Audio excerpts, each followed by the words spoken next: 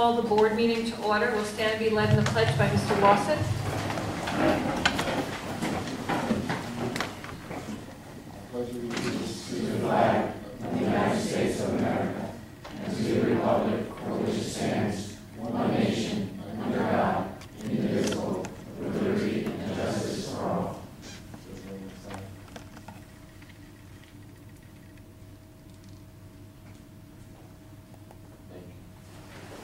Thank you, Mr. Lawson. May I have roll call, please? Mr. Howard. Present. Mr. Lawson. Present. Mr. Levinstein. Here. Mr. Lewis. Here. Ms. McAfee. Here. Ms. Prokop. Here. Ms. Rex. Here. Mr. Woodhall. Yes. Ms. Huchek. Here. Our first item on the agenda is a report from the superintendent. Thank you, Madam President. Tonight, we have a report from Maxine Nodell, our NFA Executive Principal. Please step to the podium.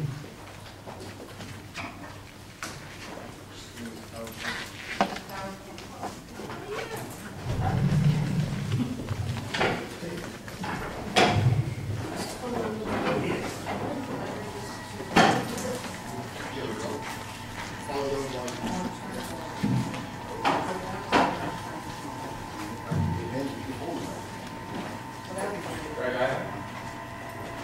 I'll get it in my desk. Oh, the remote? Yeah. You got a little report, Matthew? For a remote turn. Sure, that'd be great. Or I could stand here. Oh, I can hold the microphone. Yes. That's okay. It's really big nothing.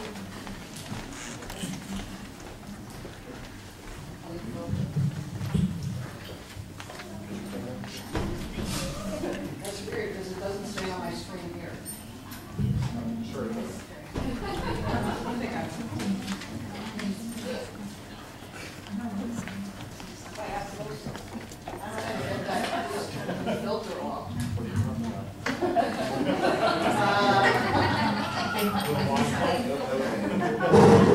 Clean it up. Do you know what that is, Matt? That'll come off. I was told that'll come off. Okay, it's off. Oh, thanks. All right, good evening, um, members of the board, members of the school district. Thank you for letting me speak tonight on the work that has been done since my official start date on July 1st. I hope that this uh, presentation will provide uh, some insight into where the school is headed, why it's heading in that direction, and um, the, the vision and, and scope of sequence for the short term and the long, and the long term. I have here Vice Principals Melissa Siegel and Matthew Dotto here to, uh, to chime in. They've been a wonderful part of this beginning process of change, and I really invite them to, to speak elaborately as we um, continue on. So the first, um, I want to take you through my journey of my work with them because I think that if you understand the journey and you're part of it, you can sort of get uh, see, see it through through my eyes a little bit.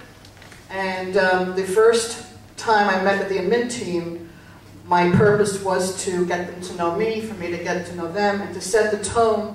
And we started it with the litmus test of how I do school, and that is the school isn't good enough if we would not be proud to send our own child to any NFA classroom or to the school overall. So with that understanding, we went on to talk about how we're going to work together. And I love to use quotes because they sum up very succinctly sentiments that can other, you know, that can be that couldn't uh, necessarily be expressed um, in this kind of way. So the idea is we, we are a team. I try to work to the best of my ability in a collaborative fashion. Um, even if I have to make a tough decision, I will always do it after I get feedback from my council. I don't think any single one person has an answer. I think a lot of people together have the answer. Um, and then the next thing was to really discuss the notion of excellence. And I love the Aristotle quote because he really says that your excellence is habitual. It's what we do. So everything we're going to do from here on out with school reform is going to be from the mindset of excellence. And um, to, to continue on that, um, the great expectations that I had, again, this was the first couple of days of getting to know the staff. Um, excellent staff attendance and punctuality. If we're not here, we can't serve the children. And that's when I say we, it's all stakeholders that work at the school building. On-time follow-up with deadlines, exhausting an approach or task thoroughly, never giving up on a child. Never giving up on a child. Um, and never giving up on a problem, always trying to see every possible angle. Effort equity, is everybody pulling their work weight?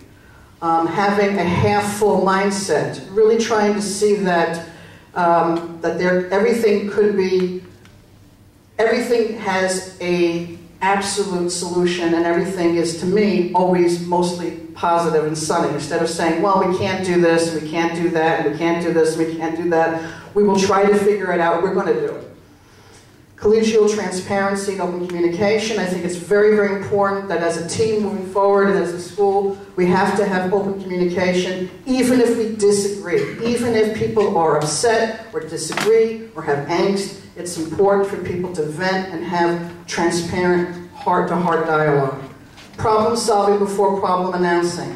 It would be wonderful if we can, as a MIN team, come with very creative solutions if there is a problem. School classrooms, restaurant, ready for students.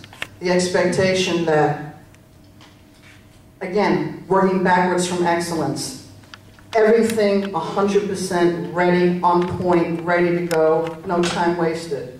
Faculty and staff always modeling excellence and professionalism for students, including learning themselves, being lifelong learners, as we talk about. So the next thing we did was we conducted a self-inventory of the current school climate at NFA. And uh, they, we broke up, people broke up into, uh, into pairs and they brainstormed on chart paper and these were some of the things we were asking um, about the current climate at NFA. And uh, the admin team got into a conversation. I also got into a lot of conversations with um, students who graduated from, from here just by driving through the, uh, a lot of the fast food places and talking to kids through windows. And then my own uh, data based on my own analysis based on qualitative and quantitative data. And these were the top five findings of things um, so far. That um, the majority, according to grads that I spoke with, the majority of teachers are extremely well-intentioned, effective. Um, NFA grads said that you can have a great experience at NFA you stay focused, stay out of trouble, take advantage of tutoring programs. There's a critical mass of teachers who want change, who are willing to do what it takes to move NFA forward, and so forth and so forth. So we, so we got this, so I already started engaging the staff in self-reflection, which is part of Danielson, reflecting on practice. And then we talked about things that might need um, some, some changing. The, um, the, the, the, learning environment in the school. Um, of course, you know, I know that you know, gangs, gangs are an issue. A couple of kids said there was a bullying problem. Um, and the, these, were the, these were the things that we discovered um, and, and talked about. So through those conversations and through analyzing all of the, uh, the data that I have from, from, from the state, from the most recent um, Regents uh, data, and talking to all kinds of uh, school stakeholders, we started to talk about school reform or school restructuring in, compartmentalized fashion overall school culture, safety tone climate, instructional program, and external participation, parent CBO. So just, just very quickly, school culture is our modus operandi, with the way we do things at the school, and the culture is how the way we do things makes people feel or perceive um, uh, their surroundings. For example, the perception a visitor has within 60 seconds of entering the building. A person can sum up the, the ethos of an organization within 60 seconds of walking in the front door, what it feels like here is usually what's going on in the classroom. Um, the instructional program, what we teach, how we teach it, how we know our students are learning, how we hold one another accountable via data, how we plan outreach, how we grow professionally, and as a school, as a PLC, professional learning community, how we invite parents to participate in the support of their children to school, and so forth and so forth. How do we reach the families that are disengaged due to external factors? How do we harness the support of external um, organizations? So with these compartments, we proceeded to move forward and we, and this is the chronological order of what we were doing. So the first thing we did was we, we agreed upon a, um, a clarifying vision mission statement for the school, something that was not present on letterhead, and uh, something that existed in a lot of verbiage, but it wasn't reduced to a single statement that everybody could just see very quickly. So we said, what are we doing? What is the work that we're doing 24 7? We are preparing students for excellence for college, career, and community. How to be successful in academia, how to be successful on the job, and how to be a, a civic-minded person, how to get back to the community, how to be a moral person, perhaps, or politically astute. So we're getting, hopefully, big banners, and, and, that's, and that's what we're working under. The next thing was making the decision to um, to ban the, uh, the use of cell phones and electronics during the school day because it is extremely destructive to, to really getting the school to the next place that it has to be. And it goes for, for staff as well. Um, and so I'm looking forward to, to moving forward with this. And again, I appreciate everybody's support with this, um, with this uh, initiative. And I'm glad uh, to move forward with it strengthening the school student parent triangle.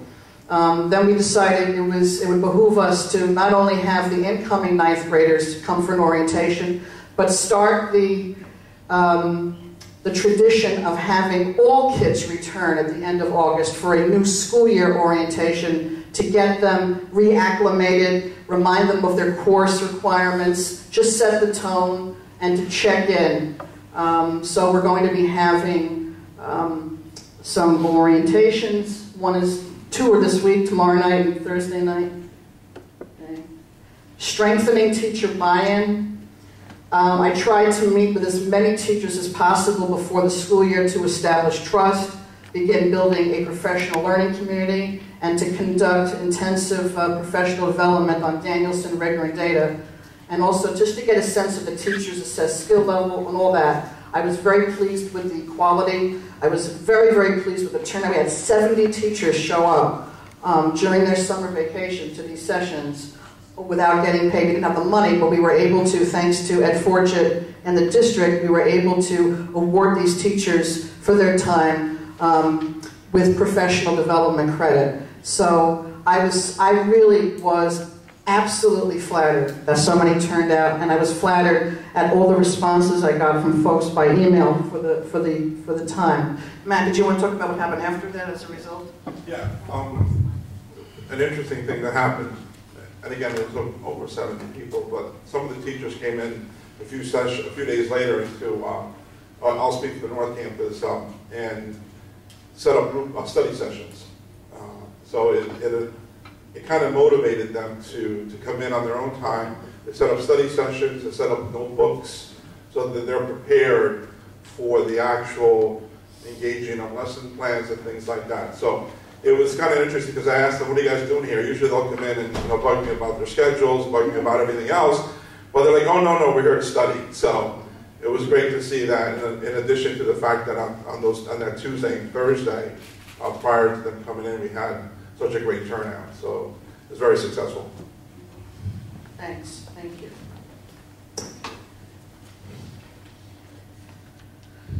We also decided that because um, of the of the Common Core standards and the APPR and uh, the need to move the school forward, we also decided to order a lot of bulletin boards for the hallway because we need to start displaying rigorous student work, evidence of, of student learning, student work product.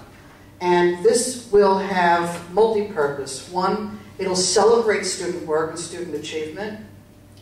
It will also get kids to see models of other types of outstanding work. It'll get teachers to examine their colleagues' practice, and everybody will get inspired from one another by displaying student work, really high quality, rigorous student work, that prepares students for the academic rigors of, of college or any type of post-secondary work. And here's just a sample of what it could look like. And this is just imagining that a history teacher planned with an English teacher and they're, they're combining their projects and uh, that they're, it's based on global history, how the elements of, of ancient civilization informed our society's current state of being. So again, getting back to the walking into the building, 60 seconds, you're, in, you're walking into a building, there's 60 seconds, what do you see? You want to get the feeling by looking at the school of what's going on in the classroom. And if you can walk into a building and you can see student work displays that have essential questions that are provocative and that require higher order thinking and projects that require higher order thinking and college readiness skills, and you see it there, you automatically see what's going on in the classroom. It's evidence of student learning, evidence of what's going on in the classroom. So that's, that's a vision of what we want to have happen in, in each of the houses. Improving instruction by professional learning community. We want to ensure that everything we do is guided by data. Every single thing. And by data, we mean just about every piece of information that tells us how we're doing as a school.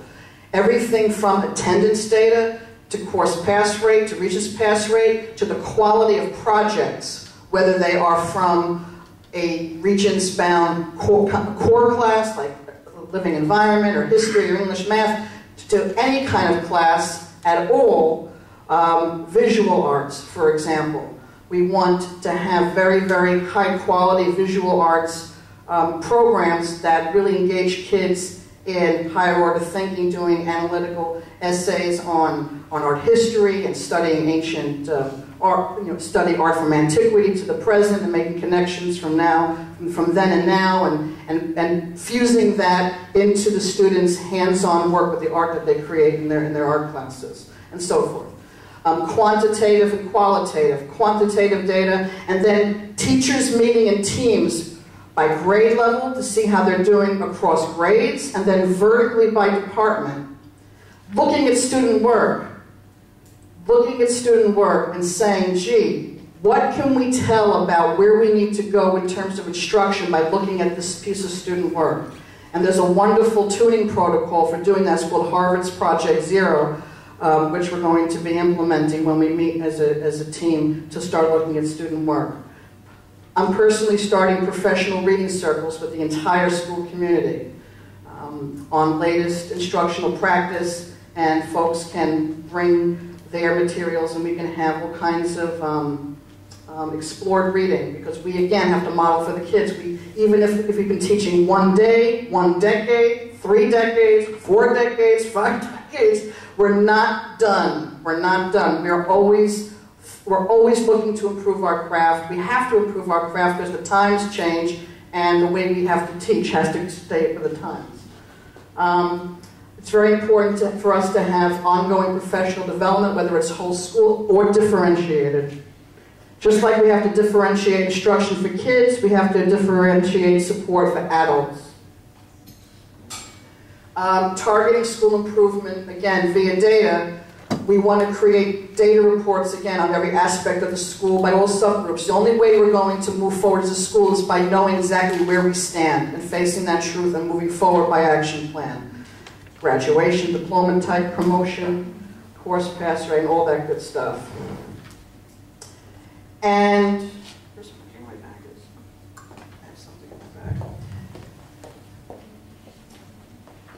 There's something that I wanted to, to share with you, and it's um, something that I had created in my last school that was phenomenally successful. Everybody in the city is using it now.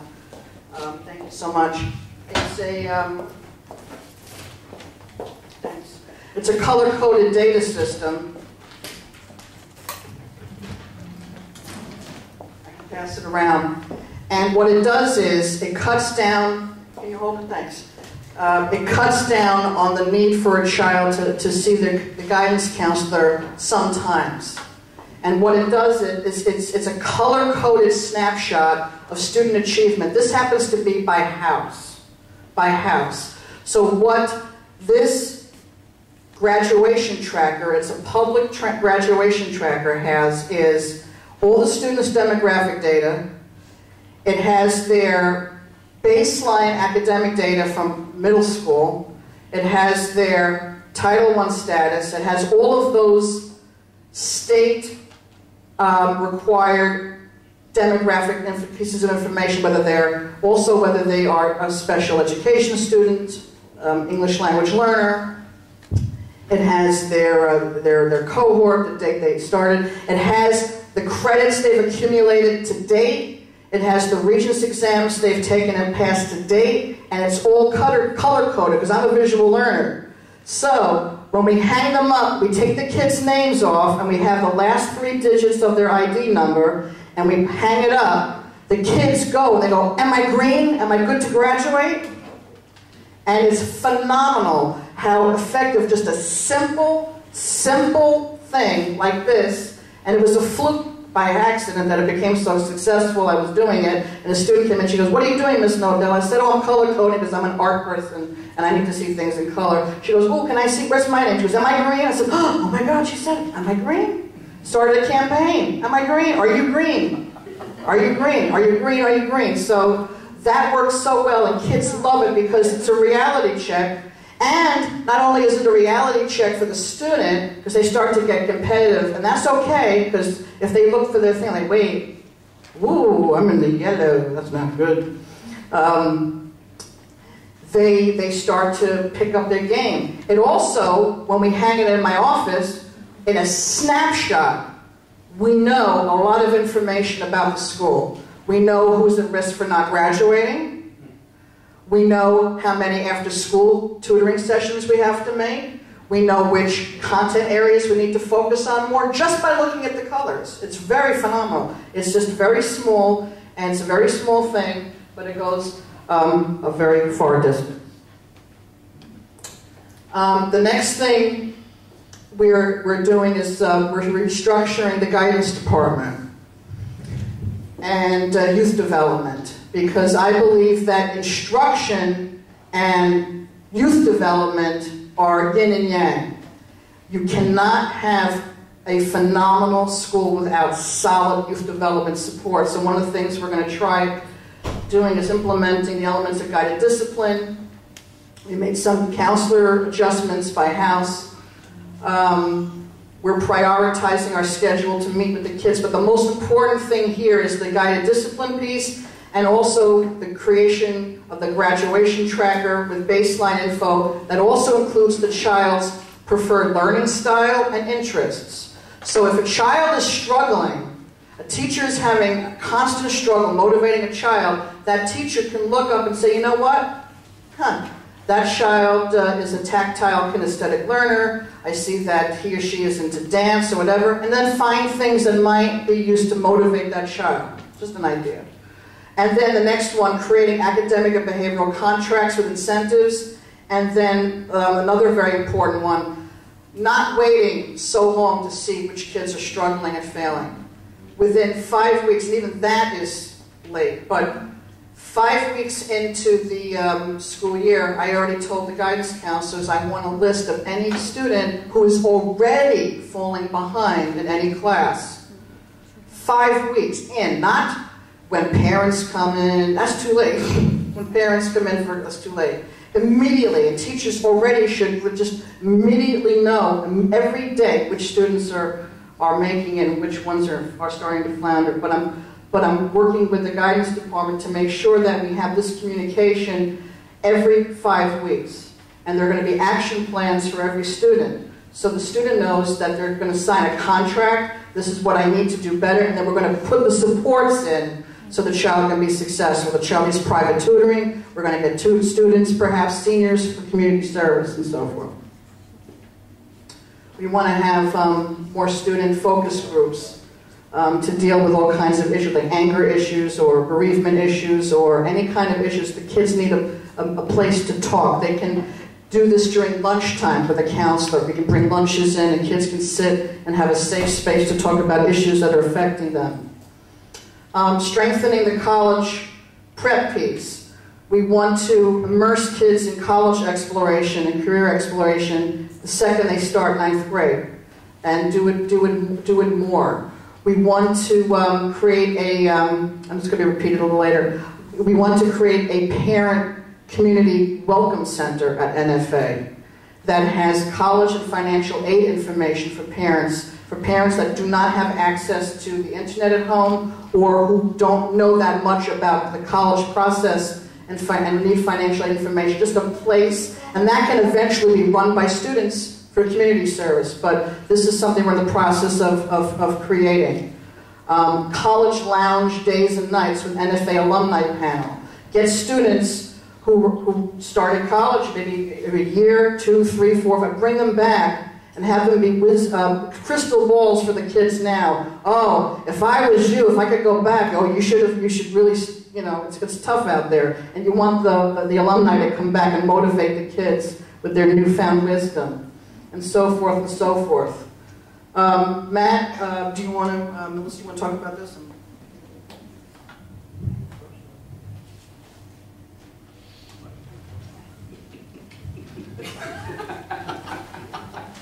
Um, we want to talk a little bit about, the, as a lot of you know, we have a Twilight program at the main campus, uh, well, for both campuses, but it's on the main campus. And one of the things that uh, we were looking at as we were discussing this all summer long, and I, I'm, I'm sure a lot of you in the, in the room are in agreement with this, that you know we need to look at that program and really focus on as to why it's there. Um, and, and one of the things we looked at is also the name. You know, Twilight right now for as many years as it's been around, it's always been a, a negative connotation to it, where it's uh, you're, you're putting students in there because you want to deal with them. Um, that's not the reason why Twilight was created, but in addition to that, we want to make more of the program. And we were coming up with a name to get away from Twilight, and we came up with RISE, the Recovery Institute of Scholastic Enri- Enrichment, which what we really want to do is make sure that the students that are in Twilight in addition to Twilight, we have a program where students can recover credits. Uh, Ms. Nodell is, is very, very focused on doing that. So, for example, as a scheduler, and I met with you last week about scheduling um, with special ed. There's a lot of students that are, sit, are going to be sitting in classes this year that are take, might be taking two English classes, three math classes, because they're trying to recover that credit because they didn't pass. That's tough on a student. That's tough on a junior, on a senior, trying to pass all those classes for credit in addition to the Regents exam and graduate. So, as Ms. Nodell said, we want to be able to reach those students ahead of time.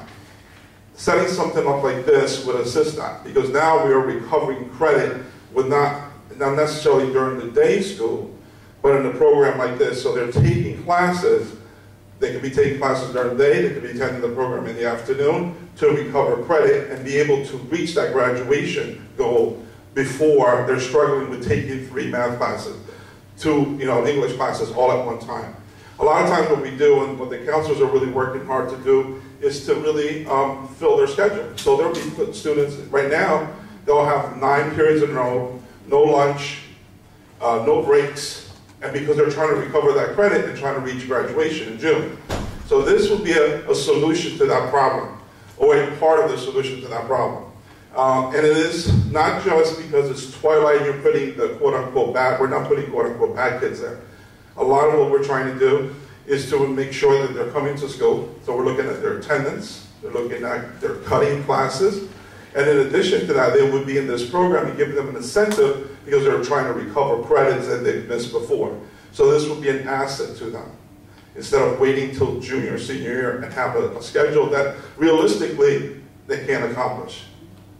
So that's part of what we're trying to do to set up a program where it's, it, it it's proactive, not reactive. Let's see what I think. I just think too that, you know, we're a community of non-traditional students and we have to make sure that our school is supportive of our non-traditional students. So when we have students that may go into the Twilight program for a variety of reasons, maybe because they're frustrated and they haven't been successful in our day school program, That's one of them. And as soon as they start to fall behind, as Matt said, it, it's very ambitious and it becomes, that gap becomes so large that students feel frustrated. They become disingenuous with, with school, that they don't feel as though that they can be successful. They're proven, they've been proven not to be successful. So this would be an opportunity for them to take that big pie of 22 credits in the five regents exams and really take it piece by piece without looking at it and going, oh my God, this is so overwhelming. And we also have to realize that we have students who are really the breadwinners of the family. They may have their own families, uh, their own families, period. So we are really in an economic downturn and our students are really feeling the effects. So if we can have students that are able to help support their family and meet their basic needs and be able to get an education, then we're really servicing not just that individual student, but we're improving our community by improving the education of our students. And then that way, that's how our community grows, that's how our community becomes successful, and that's how we retain local talent and then we can go from there. So we really need a program that's going to be an asset for our students that are going to be lifelong residents of our community and strengthen them, and that's how we'll build our community. Also, there's a lot of students, many students who come into our offices and ask to be placed in Twilight. Just understand that they're asking to be placed in Twilight because they're working there today because as Melissa said, there's that families are dealing. So if they're asking for something like that, that's something that we need to really look at. There's a need. And in addition to that, as we said earlier, the big component to this is that we're recovering credit. That's the most important thing. And we're doing it in a way where it's not overwhelming to the student. And it's, it's going to give them a chance to be successful and not being overwhelmed. And uh, one of the things we wanted to explore, and I, and I had mentioned this to Ed a little while ago, I have a state-approved program for a trimester program. And it's wonderful for overage undercredited students, because one of my biggest concerns is that students age out and they really they, they lose an incredible amount of hope. So I don't want any student at school to lose hope. So that's why I really, we're, we're all trying to brainstorm together ways of meeting the needs of every single student. Every single student, a student from means to all the way a student that has to be the means for their, for their families. And really, that's why they're not at school. But um, that could be a possible um, solution. Um, school, uh, school governance, community building, um, CBO involvement. We want to resurrect the, uh, the BLT. Uh, we want to have open forums for school discussion groups by various stakeholders. Again, we want to have the parent community NFA Welcome Center. I'm very, very, um, I feel very strongly about that. I think it's um, essential for the high school. We want to create an NFA peer mentoring program. We want to have the seniors um, who, um, who have uh, completed their work for the day go back to the school and actually mentor younger classmen who are struggling academically. Um, and I, that, that is a wonderful program that really does work. I've seen it. We want to work more with Orange County Community College. Melissa, you want to talk about the West Point piece? Um, this past year, we were able to be successful with West Point um, with our Progressive Academy.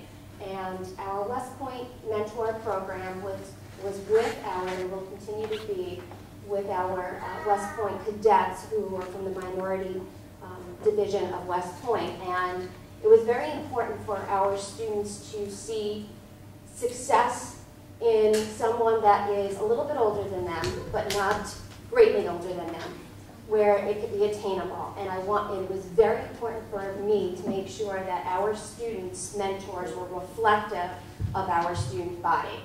And it was with great success. Our kids did community service with the West Point cadets. They were able to go to West Point to see what it felt like to be on campus, to eat with the cadets, to work side by side with the cadets. We worked with the Boys and Girls Club throughout the year with them.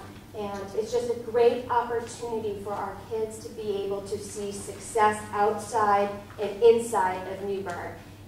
They need to know that they are the change vehicle for our community. They need to know that there can be success. And many of the West Point cadets are coming from similar backgrounds. And that's not exclusively important, but it is important because our kids need to know that, yes, I can, I can move forward, I can be successful even in a really tough situation. And they were giving them the tools to let them, and show them through their experiences on their success. So the more mentors that we have with our students, the more it becomes to strengthen their character building. And what um, Maxine was saying earlier, academics is important, but it's also very, very important to strengthen their character, to, to build their self-esteem so that they can be or feel as though that they can do well in their academics. And when that's fused together, then we're going to really have a great student that, you know, I don't want to sound like we're a factory, but we are trying to create a great product, and our product is our student.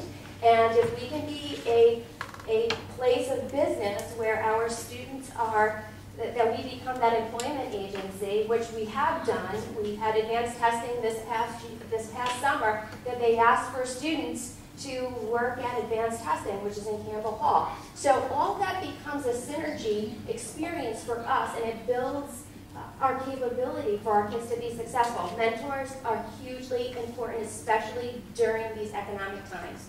They need to build, we need to look at different ways that we can build support and success. We do a lot of these things in our school. We, we have a good foundation. We need to strengthen and broaden that foundation and, and really see what's working so that we can see uh, our, us progress in all different areas like us. Thank you. And that's that bottom piece, student and community mentoring programs. Um, it would be wonderful if down the road our, our students can mentor younger children on Saturdays, even mentor adults who want to go back for their GED. That's something that we're talking about. Thank you. So the next steps, um, we're continuing we're continuing to work jointly with the district to carry out um, our, our, district's goals, our school's goals, under the uh, APR, APPR guidelines. We're continuing, um, what is that? Giving, I'm sorry, or diving. I think I was thinking of swimming when I, I'm sorry. D, the D's next to the G's, kind of, sorry. Giving student, parent, teacher school surveys. At our orientations this week, every student and every parent is getting an environmental survey. They're going to be able to, it's a series of 20 questions broken down by school, safety, tone, and climate, academic expectations, communication. And it's just short 20 questions. Strongly agree to strongly disagree. We're going to aggregate the data. We're going to do an item analysis and see the good, bad, and the ugly, and just have a starting point. We're going to share. We're doing the same thing with teachers when they come back next week. They're going to fill out a survey as well to see their perceptions. So we're going to share that data. We're going to give the same exact survey um, in June to see what changed. Um, we're in the process of creating school-wide wide goals. We're in the process of completing um, very comprehensive um, data reports to share with key staff during PD. We had a wonderful PD session in, uh, in Connecticut that really prepared us for, uh, for the return of the teachers, and we are hoping to, to mimic some of that um, methodology there. Um, we're going to be meeting with the BLT very shortly to update the CEP. Couldn't do it right away because I just came on. I can't rewrite it. I have to get everything, to get everybody together. Um, and I'm going to be continuing to mentor the, uh, the, admin staff on all aspects of the Danielson observation process via the Teachscape. Whatever system the, uh, the district is using district-wide. We're going to make sure that that's translated into NFA so there's a continuity amongst the schools. And um, in order to inspire improved instructional outcomes, I'd like to use the NFA website to weekly highlight an excellent teacher, an excellent practice for that week, and uh, do it with photographs, and, um, and to really acknowledge the teachers um, for their very, very hard work day in and day out, because um, we aren't just teachers, we are teachers and parents and social workers. We're, we're every, we wear many, many, many, many hats. So I want to I want to just have a celebration section for, for teachers because it'll also not only celebrate their achievements and their efforts, it'll also um, foster some healthy competition everybody want to be on the website. So that's pretty much it in a nutshell. There's so much more, but I, I think I, I, totally went over my time. Thank you very much for letting me uh, share uh, what we'll be doing in the several weeks.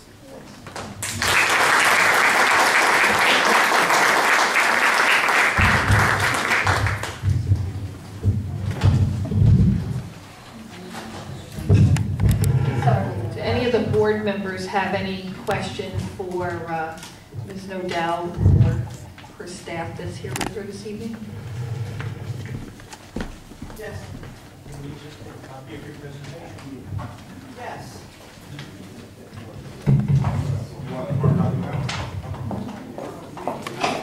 Email it to, you can email it to the board clerk and. Okay. I actually have some from.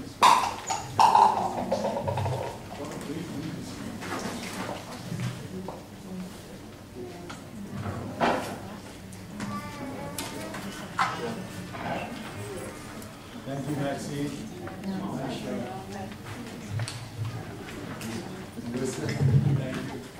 Thank you very much for being here, Mr. Dotto, Ms. Siegel, Ms. Nodell, thank you for sharing. Very exciting, positive, wonderful things going on for our students.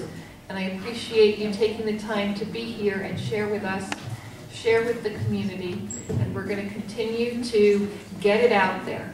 Lots of wonderful things going on here. Thank you. Thank you very much. Thank you. Next on the agenda, Madam President, we have Fortune and school turnaround. Local district turnaround. Yes.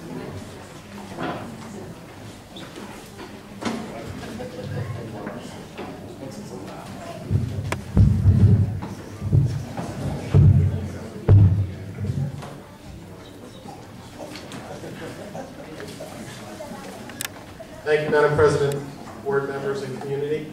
Uh, We just wanted to take a few minutes this evening to update you on a few things that have been uh, going on in the school district. Uh, As you know, um, under your, your guidance and leadership, you have reassigned me to really focus on school district turnaround and school improvement. And I thought that it was really important for you to, to, to see the direction that we're, we're proposing to take and the alignment to all of the school, in, school initiatives that you just heard from Newburgh Free Academy, and the alignment pre-K-12 with that as well. So when you, when you look at the work that we're going to be doing in school improvement, it's really making sure that there's an alignment, not just within our district, but to the state expectations. Because if there's an alignment to state expectations that's measured by the assessments, whether they be three through eight or, or New York State Regents exams, there's a great, great opportunity for our students to be successful. So if you backwards design it based on the expectations of the assessments and make sure that we offer programs for all students and opportunities for all students to be successful, our, our uh, opportunities for career and college preparedness are going to be greater. Uh, that, that's kind of the direction that we're taking. So when you look at the fact that one of the, the major steps that we're going to take in school improvement is to coordinate and co-facilitate the development of a multi-year strategic plan for the district, setting rigorous targets, defining the district vision and core values and beliefs. We've got to have a plan. We've all got to be on the same page. We've all got to be going down the same road. And we've got to monitor the implementation of those, those initiatives and strategies that we have to ensure that all students are being successful. And setting those specific benchmarks along the way will be critical in, in our path. Um, we are receiving guidance from the State Education Department as to what a district plan should look like. This is probably the first time that they're providing extreme technical assistance on what a diagnostic assessment would look like of a school district. And under my leadership, we will conduct that diagnostic assessment within the district and within each of the schools that have been identified by the state as needing improvement. So when you look at the fact that in June, there's, there were changes to the uh, ESEA, or the, basically the regulations that guide the work of school districts, um, these changes will have an impact on our school district for the way that our schools are identified for uh, in, in need of improvement or in good standing. One of the other things that we're working on is increasing the communication and explicit expectations between the district and the school. We're all working hard. We're all working very, very hard. Our teachers are doing the best that they possibly can. They're moving in a positive direction for the students that they're educating. As, as I would say, our senior staff is working, as well as our administration at the buildings. We've all got to be on the same page. There has to be that, that line of coordination and communication between each of us so that that district plan becomes a living document being implemented in the school. That takes me to the school plans. Each of the schools will be required to create a plan as well. So you've got a district plan that you're going to implement and hope to see positive change over the next three to five years. You have to have a building plan that's aligned 100% with that district plan and it's measured with those similar benchmarks. Uh, develop an administrative team in each school that will require increased instructional rigor in every classroom by ensuring successful implementation of the Common Core state standards. We are well on our way with the Common Core standards. We've done a lot of work this past year with developing foundational knowledge, but understanding the different shifts that we have to make in our school district with regards to the changes in English language arts and the changes in math. Uh, our, we've had a team up at the State Education Department this past month, and they participated in the rollout of statewide curriculum modules. These curriculum modules were for pre-K through 5 in English language arts. The math did not come out uh, from the state yet, but they, they hope to have them out soon. Um, these particular modules, our staff is starting to take a look at. We're pulling them apart. We're seeing whether they're going to meet the Newburgh standards. You know, we're not just going to take from the state because the state says this is your curriculum. We have the power, we have the authority under your guidance as a board to say what is the local curriculum, what will drive what our kids need in Newburgh. So we're pulling those apart, we're analyzing those, and we're going to put together the district curriculum modules using those as a guideline. Uh, we're going to um, work with each of our school teams uh, of our administrators, our principals, and our assistant principals to really talk about how do we create, as Maxine shared with you, what are those professional learning communities that we want to see in every one of our buildings? How do we, how do we increase participation in decisions? How do we make sure that we're using data on a regular basis to drive all decisions? Whether it be for a program, whether it be for uh, implementing new positive behavior supports in the school, whether it be for an instructional strategy, whether it be for budgets. It's got to be driven by data, and it can't be one source of data. It's got to be perceptual data. It's got to be academic achievement data. It's got to be school process data. All of these different pieces put together a different lens for us to look through to make sure we're making the right decisions for our kids. And we're hoping to build the instructional capacity of our building teams and our building administration to, to make those particular decisions. We're going to monitor the student achievement and growth by embedding that cycle of data-driven inquiry. Maxine made reference to Connecticut. Connecticut was, was a leadership retreat that was really around understanding the power of data to drive these decisions. And we used actual data from the district over the past three years that talked about the performance in grades three through eight in English language arts and math. And we looked at graduation rates and we had some really difficult conversations around why are we in the situation that we're in and let's be honest about this and figure out what it is that we're going to do so that each of the individual subpopulations have the opportunities in our school districts to be, district to be successful. That's the job of the administration. The job of the administration is to work with the teachers to develop those opportunities to make sure that those kids are successful. It can't be one particular group making these decisions. It's got to be data-based analysis with teachers, with administrators, and with senior staff in the district making those decisions based on that data. When you look at the coordination of the work of curriculum and instruction, as I said, my role has changed. I'm in school improvement. However, we've got to make sure that curriculum and instruction is aligned to the work that's being done in the schools. So if we're creating these curriculum modules, how do we know once those modules are done and CNI says, okay, they're done, they're completed, they're in a nice package, they're on the website, then there needs to be support at the building level to say, now take it to the next level. Let's see it in the classroom. What would it look like in the classroom? Let's walk through the classrooms and take a look and see what we want to see students engaged in. What do we want to see the administrators talking about during faculty meetings? How will school-based professional development be created? All of that's in line with what the district expectations are. So the having me in the role of school improvement is going to support all the work that CNI is doing to support the building principal to bring to life in the school. Um, the other thing is to assist the curriculum and instruction department to develop a two, uh, two-year academic intervention service response intervention plan. Those are plans that need to be reviewed on a, on a two-year basis. So we, we have to identify what's the continuum of support we have for those students that are not successful on the New York State assessments. We're required to do that. And it's not just saying that a student didn't do well on the ELA assessment or on the math assessment. Let's give them extra time to do math and reading. It's talking about why didn't the student perform well on that assessment? Was it an attendance issue? Are there other issues that are preventing that student from being successful? We need to move away from the fact that it's the issue is the child and move to we are creating barriers or there are barriers that have been created in our school district that are preventing these, these students from being successful. These, are, these students are our life. They're what we're all about. It, it's not, they're not the problem. There are barriers that we need to figure out, break down, so that these kids can be successful. That's the purpose of our academic intervention plan and our response intervention plan.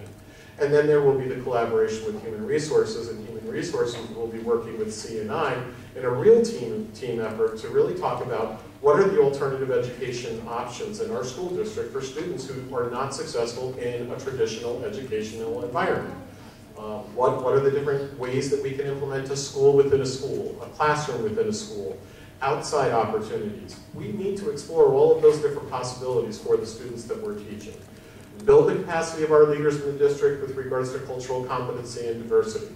We, we are in the process of implementing that. On September 7th, we have our first, not our first, but one of many kickoffs of the, uh, the, the strategy that we're putting in place and working with New York University's Metro Center for Urban Education to, to talk about what is our obligation as a school district to educate all students in our district and what are the opportunities we have to provide so that these students can be successful and Dr. Pedro Noguera will be here, and he will be talking to us directly about what are the district's responsibilities, and also what are the community's responsibilities, and how do we work together to do that. He's going to use a school district that has turned around uh, from, and it's either Brooklyn or the Bronx, but I'm almost positive it's Brooklyn, as, a, as an example uh, uh, uh to walk us through that particular piece. After the keynote, we will break out into an elementary team, a middle level team, and a high school team, and the topics of those conversations will be on culturally responsive education. And that's, that's the beginning of that particular piece. Uh, human resources will be continuing that initiative throughout the year, so after the kickoff occurs on September 7th, there will be follow-up and there will be support provided in every one of our schools to keep that moving and keep that going. Just um, one of the things that the state has provided us, as I shared with you, is the fact that we have to have a diagnostic assessment. That diagnostic assessment that I'll be trained on uh, in October will be conducted in the, in the district, but it will also be done in each of our identified schools that are in the accountability system. It, it falls on six different tenets. Uh, district leadership and capacity. How well are we prepared to, to, to meet the needs of our students? Uh, school leader practices and decisions. How well informed and, and, what's the instructional capacity of our school leaders to be able to pull this, this work well. Curriculum development and support. Are we creating curriculum to prepare students for the 21st century? Are we making sure that our students can go to any college that they select that they would like to go to? If they want to go into a career path, are we prepared to get them there? Teacher practices and decisions. Are we are we aligning the, the, the best practices, the effective practices, the knowledge and skills of our teachers with the expectations of our curriculum? And if they need assistance, are we providing professional development to get them there? Student social and emotional development and health. Are we looking at the whole child, not just the academic? Because there are sometimes that the social emotional component of the student is what's preventing them from acquiring the knowledge of the, the curriculum or the academics. And then the family and community engagement. These are the six particular pieces that I'll be trained on to come back and do a diagnostic assessment of the school district and then also do the same thing with the team of teachers and administrators in each of the schools that are identified. Which takes me to how are the schools uh, aligned with the support that school improvement will be working with. We're, we're going to tier them based on their needs based within the accountability system. Uh, the schools that, that we will be working very intensely with will be Temple Hill Academy, South Middle School, Heritage Middle School, and Newburgh Free Academy. Schools that we will be working with in a very dedicated fashion will be Gidney Avenue Memorial, Horizons on the Hudson, Meadow Hill, New Windsor, and Vails Gate, and schools that we're going to continue with the pace that they're at, keep them on track, keep them moving in a positive direction, and having uh, them work with some of the other schools to embed some of the practices that are working in their schools would be Balmville, Foster and Gardnertown. Um, my hope is that uh, on a monthly basis or every other month to give you an update as to where we're at with school improvement. This just gave you a quick overview as to where we're going, what we're doing, and if you have any questions, I'd be willing to answer. Questions for Mr. Ford?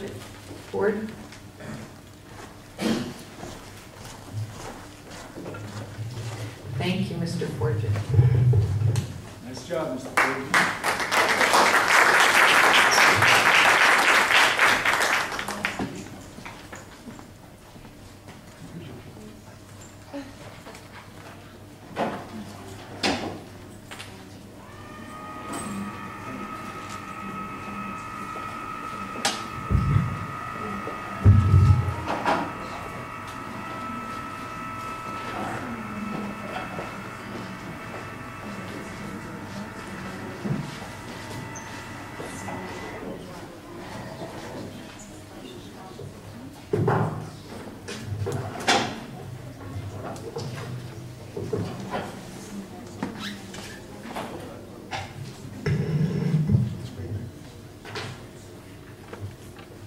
Thanks once again to our presenters.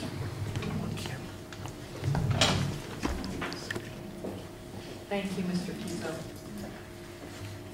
Our next item on the agenda is public discussion and comment on agenda items. Anyone wishing to speak on agenda items, please step to the podium and give your name and address.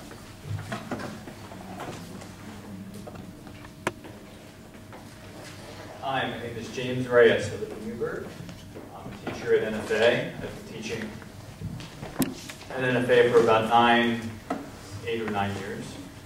Probably about seven years ago, I was asked by Johnny Drink, uh, the Career Technical Education Director and Art Director, to start a broadcast class called Communication Through Broadcasting, GBTV. And I started that seven years ago. Currently today, there is over 100 students signed up at NFA Main alone. And there is more signed up at North. Um, and there's a waiting list. Um, today you're going to vote on Q, Media Communication Teacher's position, which will be replacing me. We'll be replacing the program that I thank you, Mr. Pizzo, you bought me $10,000 worth of camera equipment last year.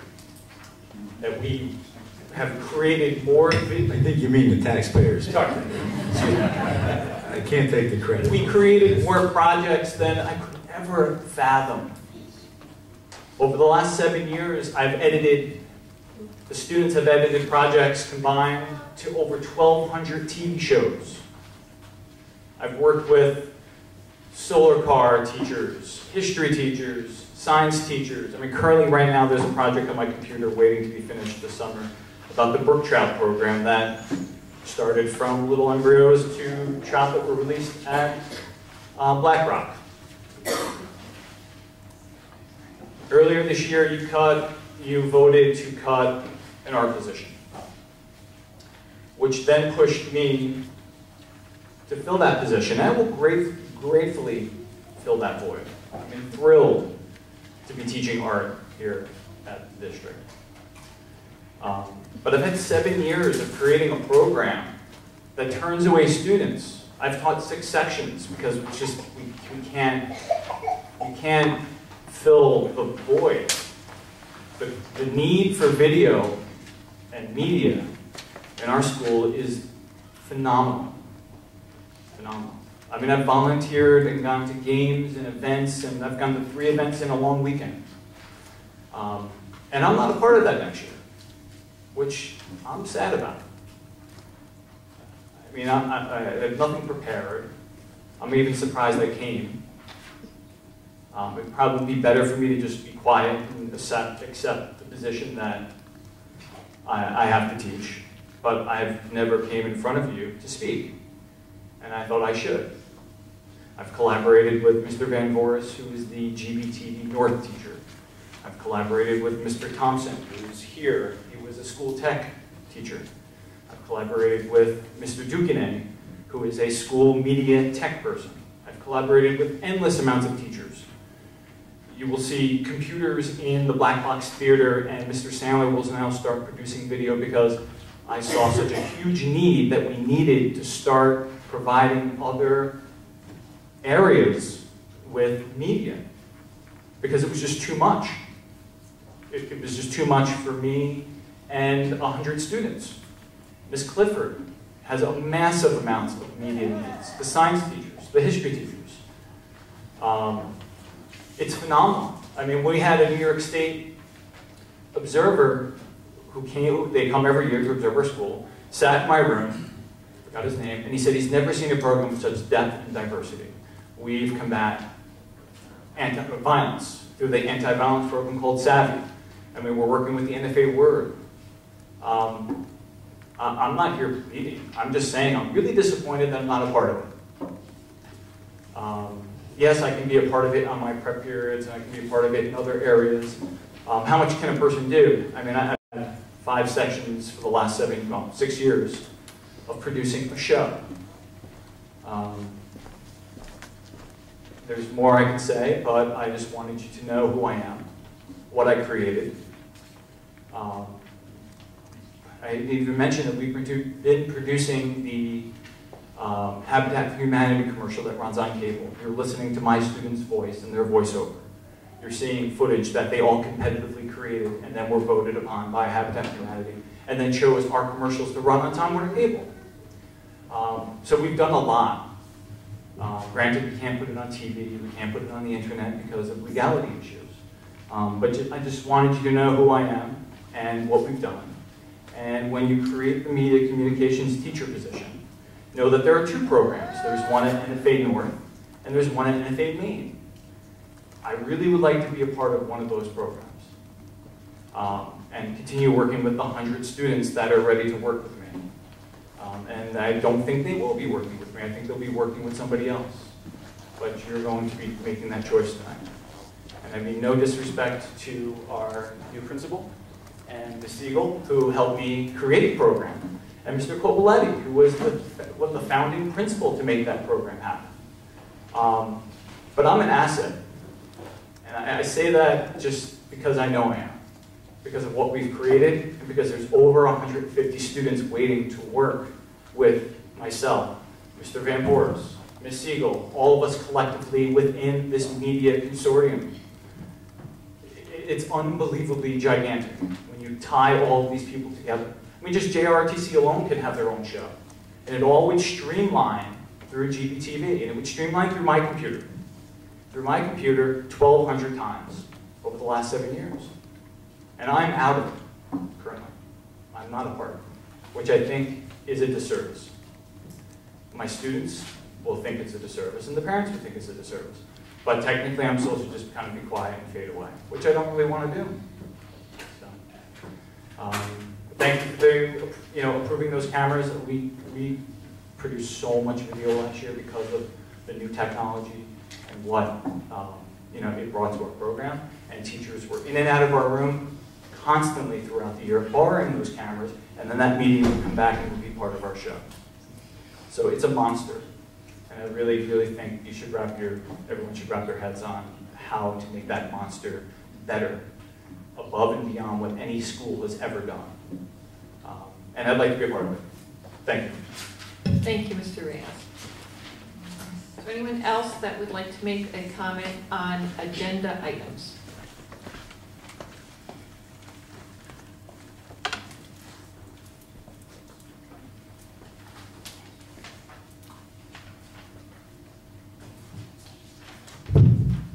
Grace Bowles Newburgh. I don't know the gentleman that just left the podium, but I do know this is the direction that we need to take our children. Our children are doing things that we can't imagine. And for us to be able to continue to give children the kinds of things that the 21st century calls for, I think we need to really be on board and keep this young man. Uh, like I said, I don't know him, I just happen to be here, and I look down because, as all of you know, I'm all about 21st century, I'm all about technology, and that is what our students are about. Thank you. Thank you, Mrs. Bowles. Is there anyone else that would like to speak on agenda items?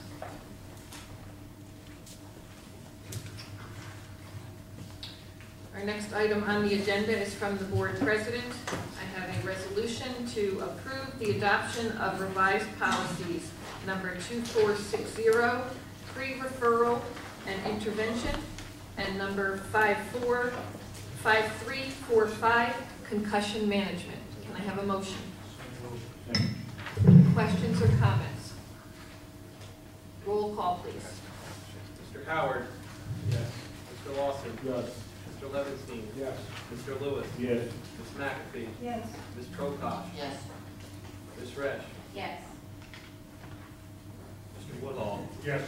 And Ms. Buchek? Yes. Our next item on the agenda is from the superintendent. Thank you, Madam President. Resolution A is to appro- approve facilities project change orders associated with approved projects. NFA renovation, NFA auto body, HOH renovation, NFA masonry, South Middle, South Middle School renovation, GAMS renovation, GAMS Science Room reno- renovation, Vails Gate renovation, and that's project set one and set two, and the Gardnertown renovation project. May I have a motion? Second. Questions or comments? Roll call, please. Mr. Howard? Yes. Mr. Lawson? Yes. Mr. Levinstein? Yes. Mr. Lewis? Yes. Ms. McAfee? Yes. Ms. Prokosh? Yes. Ms. Resch? Yes. Mr. Woodall? Yes. Ms. Buchek? Yes. Resolution B is to approve the receipt of the grant for the Newburgh Free Library. May I have a motion? Second. Questions or comments? Roll call, please. Mr. Howard? Yes. Mr. Lawson? Yes. Mr. Levinstein? Yes. Mr. Lewis? Yes. Ms. McAfee? Yes. Ms. Prokosh? Yes. Ms. Resch? Mr. Woodall? Yes. Ms. Buchek? Yes. The next resolution is from uh, Mr. Velez.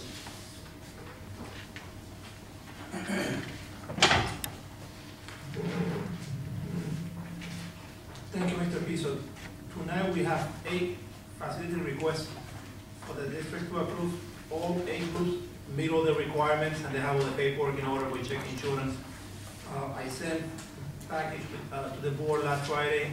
Tonight, I put in the spreadsheet with the total cost in each of your table. If you have any questions. It should be on, in- in addition to your packet in front of your desk. Can I have a motion for this resolution? Second. Questions or comments? Yes, Mr. Levinstein. Um, I was just wondering if our, our policies are, um, adhered to this, for some, there's a lot that we're not charging, that's fine for community groups. But I thought some of our policies for facility use, uh, stipulate certain amounts that needs to be, uh, paid for use of the facilities. Is that something that may need to be changed? Mr. Velez? Mark, um, in, in the spreadsheet tonight, some of the organizations that we charge for use of the schools are because they're using our schools during overtime hours or the weekend, when the schools have open on regular time, we don't charge. Two weeks ago, in Millis Hanging Out, we talked about that, and I, uh, asked, uh, Millis Hanging Out chairperson to bring this to policy, because, uh, the numbers don't align with the cost that we have these days, so I think in the next policy meeting, we are going to discuss that. Any other questions or comments? Roll call, please. Mr. Howard? Yes. Mr. Lawson? Yes. Mr. Levinstein? Yes. Mr. Lewis? Yes. Ms. McAfee? Yes. Ms. Prokosh? Yes. Ms. Resch? Yes. Mr. Woodall? Yes. Ms. Buchek? Yes. Resolution D is to approve the district technology plan. May I have a motion? Second. Questions or comments? Roll call, please. Mr. Howard? Yes. Mr. Lawson? Yes. Mr. Levinstein? Yes. Mr. Lewis? Yes.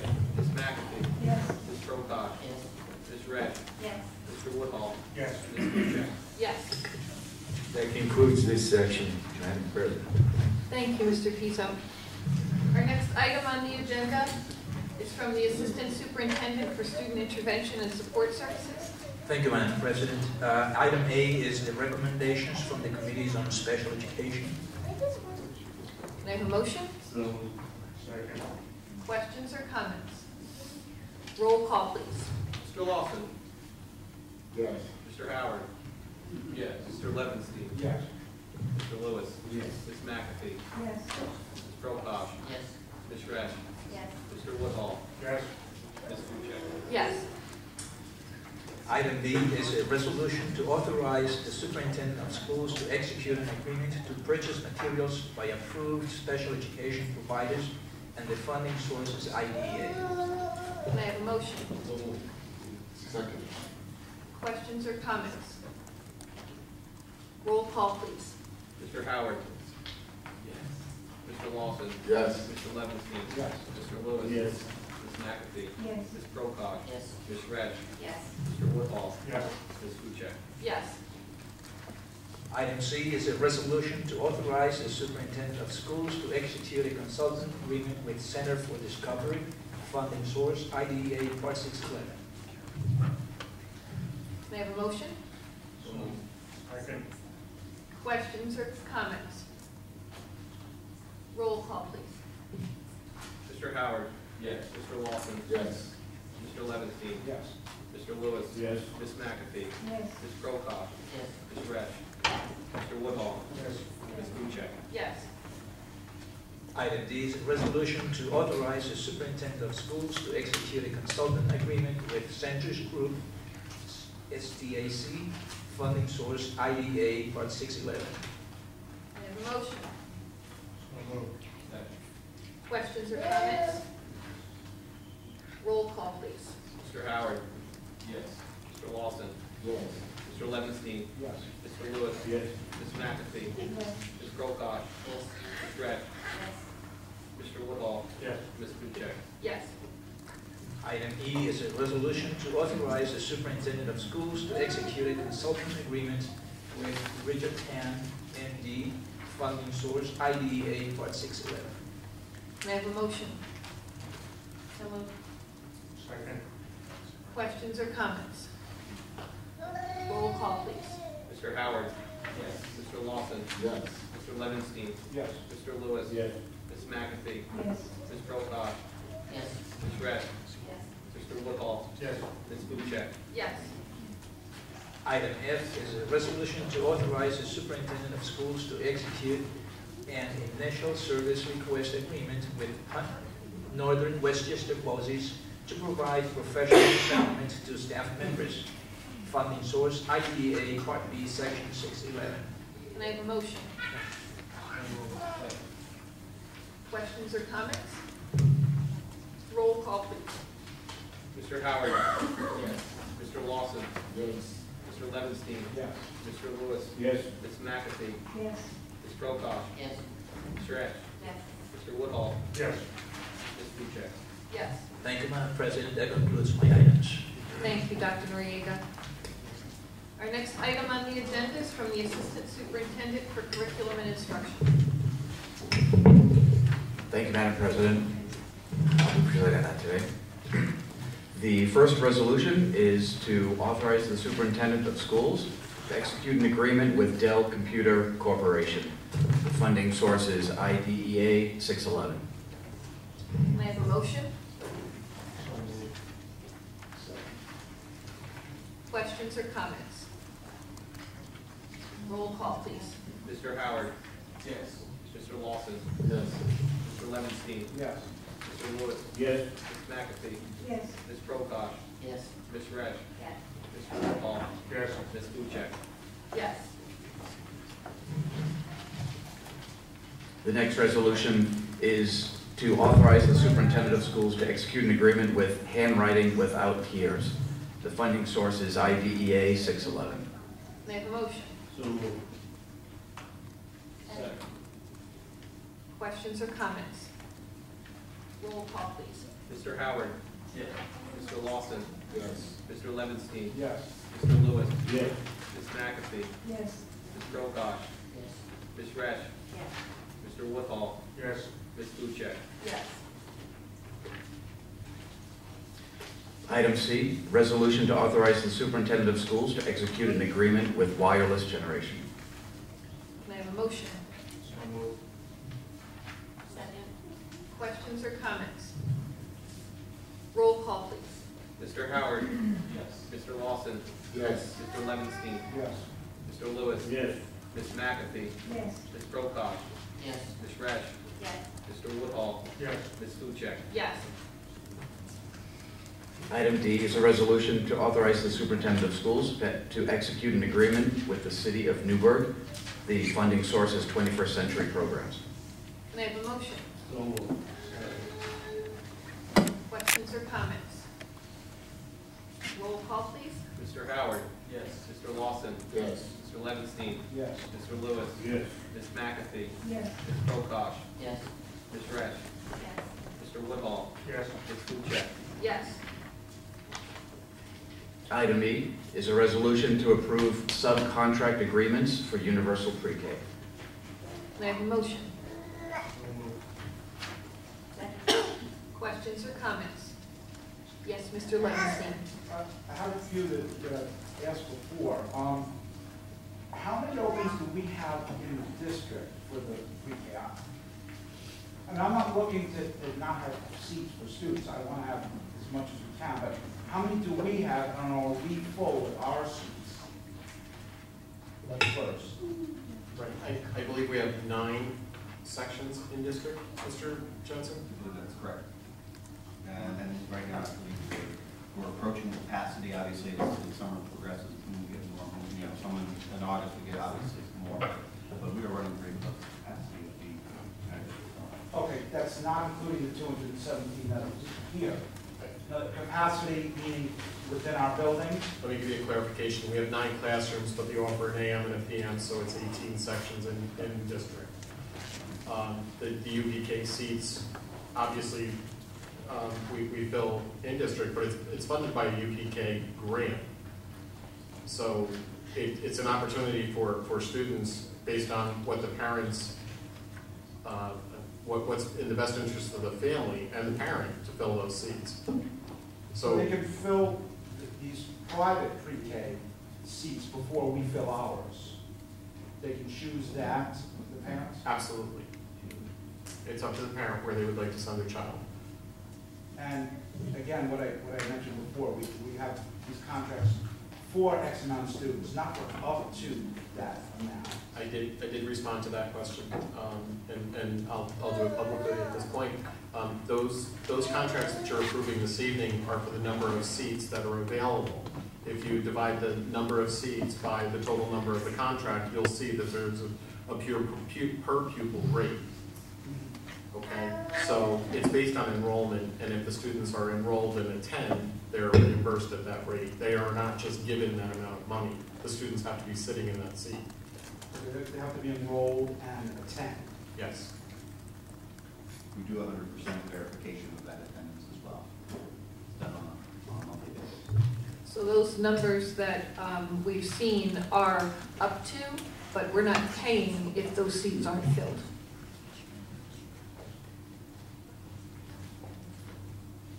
Thank you. You're welcome. Any other questions? Roll call, please. Mr. Howard? Yes. Mr. Lawson? Yes. Mr. Levinstein? Yes. Mr. Lewis? Yes. Ms. McAfee? Yes. Ms. Prokop? Yes. Ms. Resch? Yes. Mr. Woodhull? Yes. Ms. Fucek? Yes. Item F is a resolution to approve the purchase of leveled readers for the 2012-2013 school year at an amount not to exceed 160000 The funding source is Title I, Part A. May I have a motion? Second. Questions or comments? Roll call, please. Mr. Howard? Yes. Mr. Lawson? Yes. Mr. Levinstein? Yes. Mr. Lewis? Yes. Ms. McAfee? Yes. Ms. Prokop? Yes. Ms. Resch? Yes. Mr. Woodhull? Yes. Ms. Fucek? Yes. Item G is a resolution to approve the purchase of student assessment instruments for the 2012-2013 school year at an amount, at an amount not to exceed 402000 The funding source is Title I, Part A. Can I have a motion? Questions or comments? Roll call, please. Mr. Howard? Yes. Mr. Lawson? Yes. Mr. Levinstein. Yes. Mr. Lewis. Yes. Ms. McAfee. Yes. Ms. Prokop. Yes. Ms. Grant. Yes. Mr. Woodhull. Yes. Ms. Buczek. Yes. Item H is a resolution to approve the district debate team's tentative schedule for 2012-2013. Motion?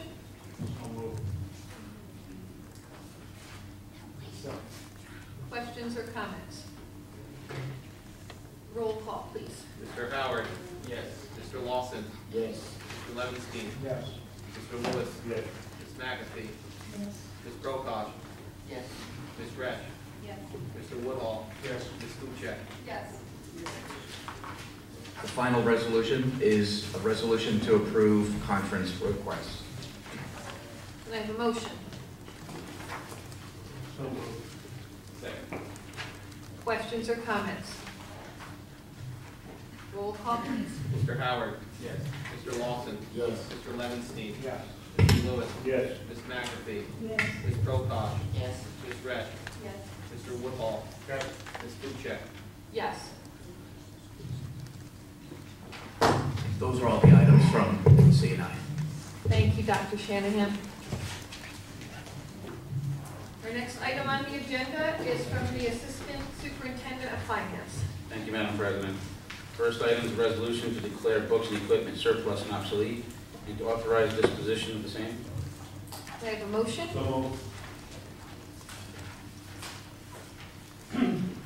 Questions or comments? Yes, Ms. Prokop. I know I ask this all the time, but, um, equipment, uh, that is obsolete, are we, do- are we doing anything with them? Are we, once they're obsolete, are we then doing the green project where we're, uh, getting reimbursement for those? Yeah, it's actually, we, we looked at several different options, and what we're looking at, actually, we're doing a combination. Some things have gone out on auction, as we've uh, attempted in the past, um, if we feel that it's a, a viable piece of technology.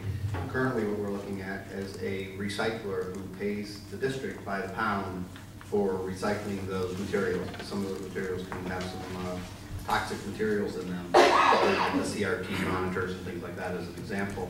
So um, we're, we're now working with a recycler, and we're going to try that as a method of uh, of disposing of our equipment. Because I know I brought it to the board uh, several months ago about the uh, green fundraiser where it's actually not by the town, but it's by the, um, by the individual component that you can send to them, which they then pay you for. I, I brought up several months ago. And uh, I still get stuff, I'm sure we all do on our, our- our email about it. And, you know, they have the pricing right there. Ms., uh, Mr. Pasella, I know that you had, um, I believe, Ms. Altman looking into that. Right, and I'll get a response from her. Uh, One of the issues that came up surrounding that was certain uh, products that we have, or certain items that we have contain some sensitive materials. And I- if I'm not mistaken, and I'll certainly verify it, that one of the issues was that when they want it, when this company wants it, um, they want it fully cleaned. And that became a labor issue here in the district to fully clean them because to actually wipe all of them out was very labor intensive for each one of the machines to go there, but I'll verify that. What I believe that Mr. Jensen is referring to tonight, we get the actual guarantee from this company signed that they actually clean off, clean it off and they dispose it properly according to the environment. Um, But I'll, I'll research that again with Ms. Allman and, and respond back probably in an update. And I mean, the thing as far as the auction, where is that auction? We have, uh, we've set up eBay, Craigslist, we've done this for years. We don't, we don't physically do an auction anymore because again, it's labor intensive and we actually were losing money. Because I know we had it on the website there for a while. right? We, uh, I believe that we still do, uh, certain items, I'd have to, I'd have to check. But I know that we do have an eBay account, a lot of it goes out through eBay and that's been very successful for us. And we'll get the accounting of that. Of how much we've sold. Of the money, right, the money that's being generated from that. Um, yeah, I believe that we can.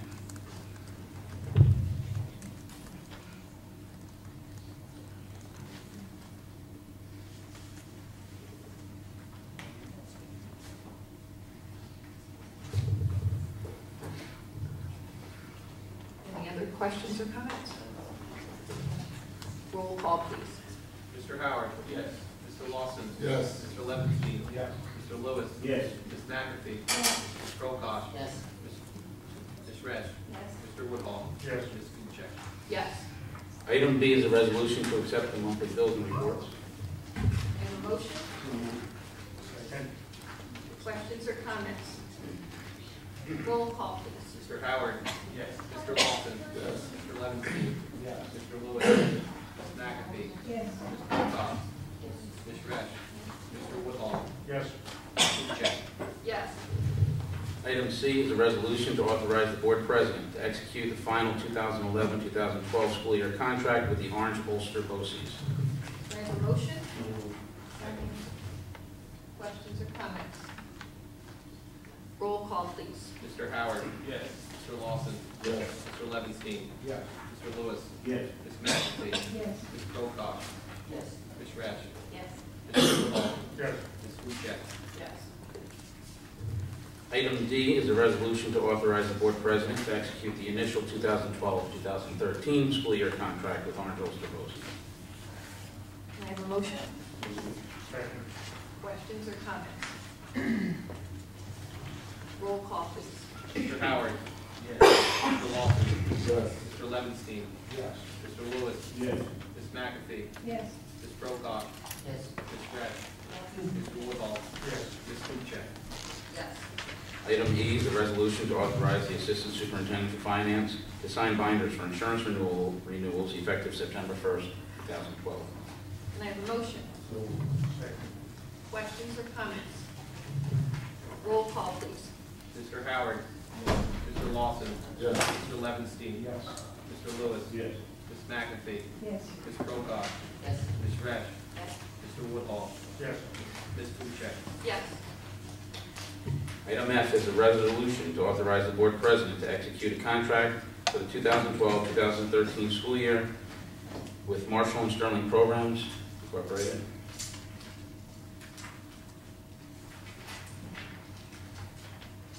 Can I have a motion? Questions or comments? Roll call, please. Mr. Howard? Mr. Lawson? Yes. Mr. Levinstein? Yes. Mr. Lewis? Yes. Ms. McAfee? Yes. Ms. Prokop? Ms. Resch? Mr. Woodhull? Yes. Ms. Kuchek? Yes. Item G is a resolution to transfer funds of $750,000 from the tax certiorari reserve to the general fund. May I have a motion? Questions or comments? Roll call, please. Mr. Howard? Yes. Mr. Lawson? Yes. Mr. Levinstein? Yes. Mr. Lewis? Yes. Ms. McAfee? Yes. Ms. Prokop? Yes. Ms. Resch? Yes. Mr. Woodhall. Yes. Ms. Kuchek? Yes. Item H is a resolution to transfer funds, the amount of 500,000 from the unemployment reserve to the general fund. May I have a motion? Questions or comments?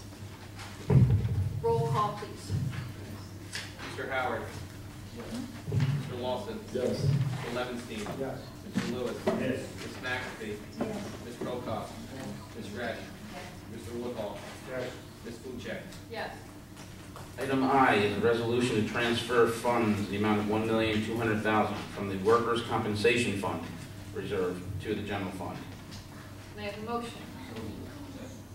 Questions or comments? Yes, Mr. Woodhull.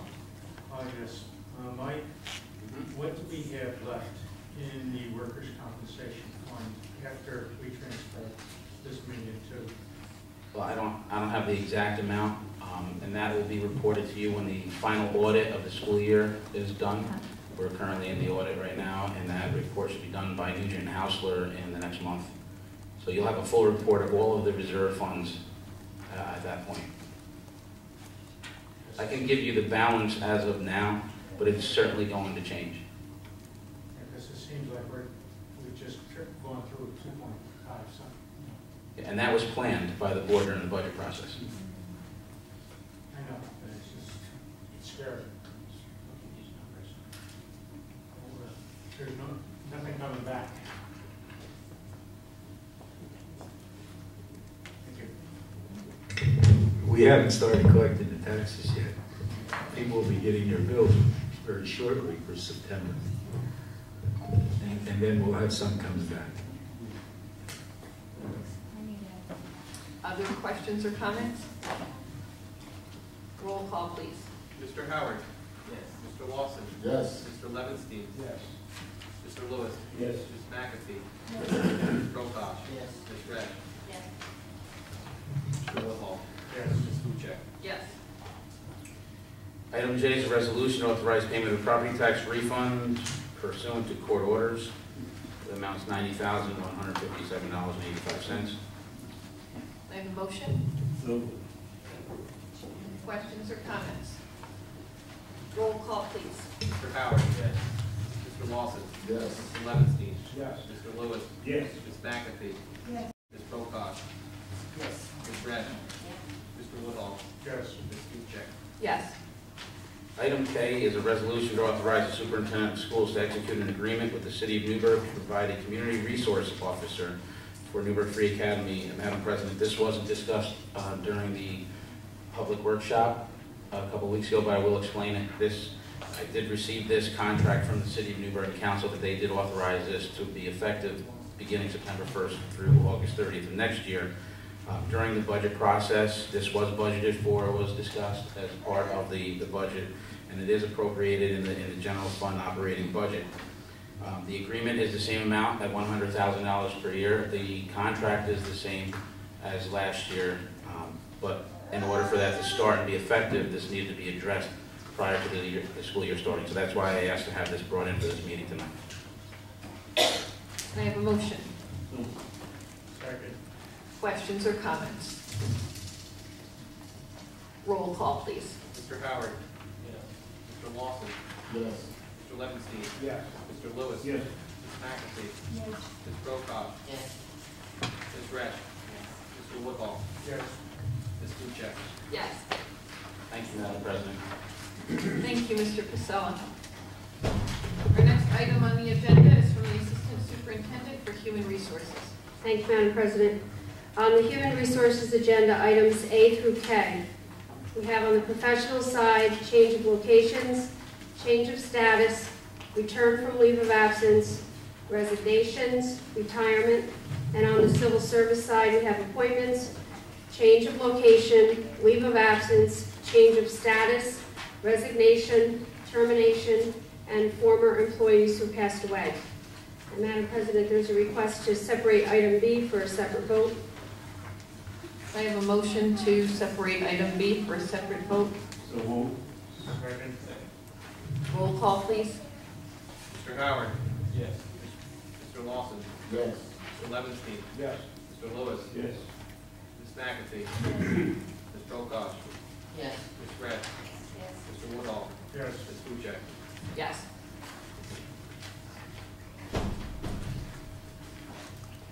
So the first vote would be A through K minus B. Minus B. Can I have a motion? Second. Questions or comments? Roll call, please. Mr. Howard? Yes. Mr. Lawson? Yes. Mr. Levinstein? Yes. Mr. Lewis? Yes. Ms. McAfee? Yes. Ms. Prokop? Yes. Ms. Resch? Yes. Mr. Woodhull? Yes. Ms. Buczek? Yes. And the next would be Resolution B, which is professional change of status. Can I have a motion? So moved. Second. Questions or comments? Yes, Ms. Prokop. If I could table this for discussion in executive session. Can I have a motion to table Resolution B from the Human Resources agenda? Roll call, please. Mr. Howard? Yes. Mr. Lawson? Yes. Mr. Levinstein? Yes. Mr. Lewis? Yes. Ms. McAfee? Yes. Ms. Prokop? Yes. Ms. Resch? Yes. Mr. Woodhull? Yes. Ms. Buczek? Yes. Resolution L is to authorize the superintendent of schools to execute an agreement with Omni Medical Care for bloodborne pathogens exposure services. Can I have a motion? So moved. Second. Questions or comments? Roll call, please. Mr. Howard? Yes. Mr. Lawson? Yes. Mr. Levinstein. Yes. Mr. Lewis. Yes. Ms. McAfee. Yes. Ms. Prokop. Yes. Ms. Resch. Yes. Mr. Woodhull. Yes. Ms. Buczek. Yes.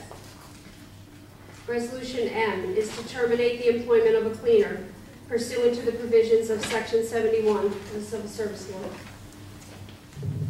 Can I have a motion? Second. Questions or comments? Roll call, please. Mr. Howard. Yes. Mr. Lawson. Yes.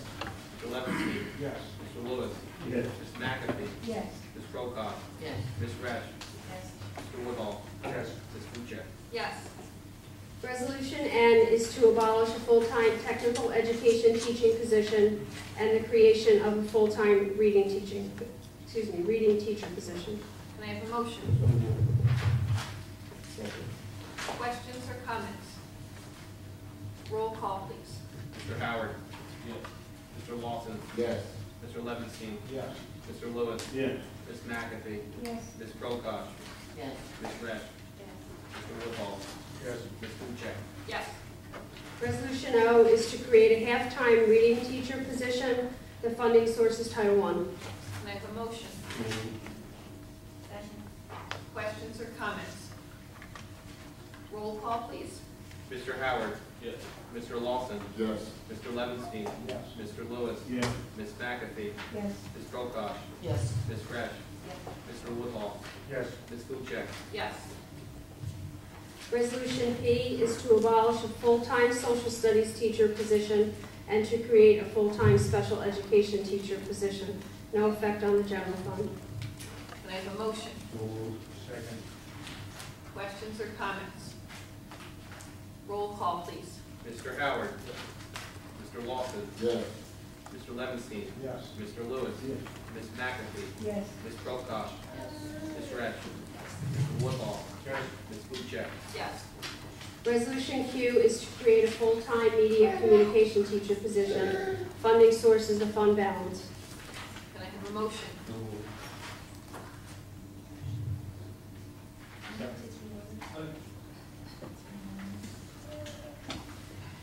I have a motion to table this item. Second. Roll call, please. Mr. Howard. Mr. Lawson. Yes. Mr. Levinstein. Yes. Mr. Lewis. Yes. Ms. McAfee. Yes. Ms. Prokop. Yes. Ms. Resch. Mr. Woodhull. Yes. Ms. Buczek. Yes. Resolution R is to designate individuals for appointment depending on enrollment and- and attendance to the 2012 Extended School Year Program positions. These are the positions that did the proctoring and scoring. Can I have a motion? Second. Questions or comments? Roll call, please. Mr. Howard. Mr. Lawson. Yes. Mr. Levinstein. Yes. Mr. Lewis. Yes. Ms. McAfee. Yes. Ms. Prokop. Yes. Ms. Resch. Mr. Woodhull. Yes. Ms. Buczek. Yes. Resolution S is to adopt the revised 2012-2013 district calendar. Can I have a motion? Questions or comments? Roll, oh, Mr. Lawson. Um, I'm told it was, uh, Lawson. Is that not gonna be something that's on the actual calendar? Generally, specific designations of a month don't appear on this calendar. It would appear on what we call the wall calendar. It's a huge calendar that is developed by CNI, and it would appear on that. Any other questions?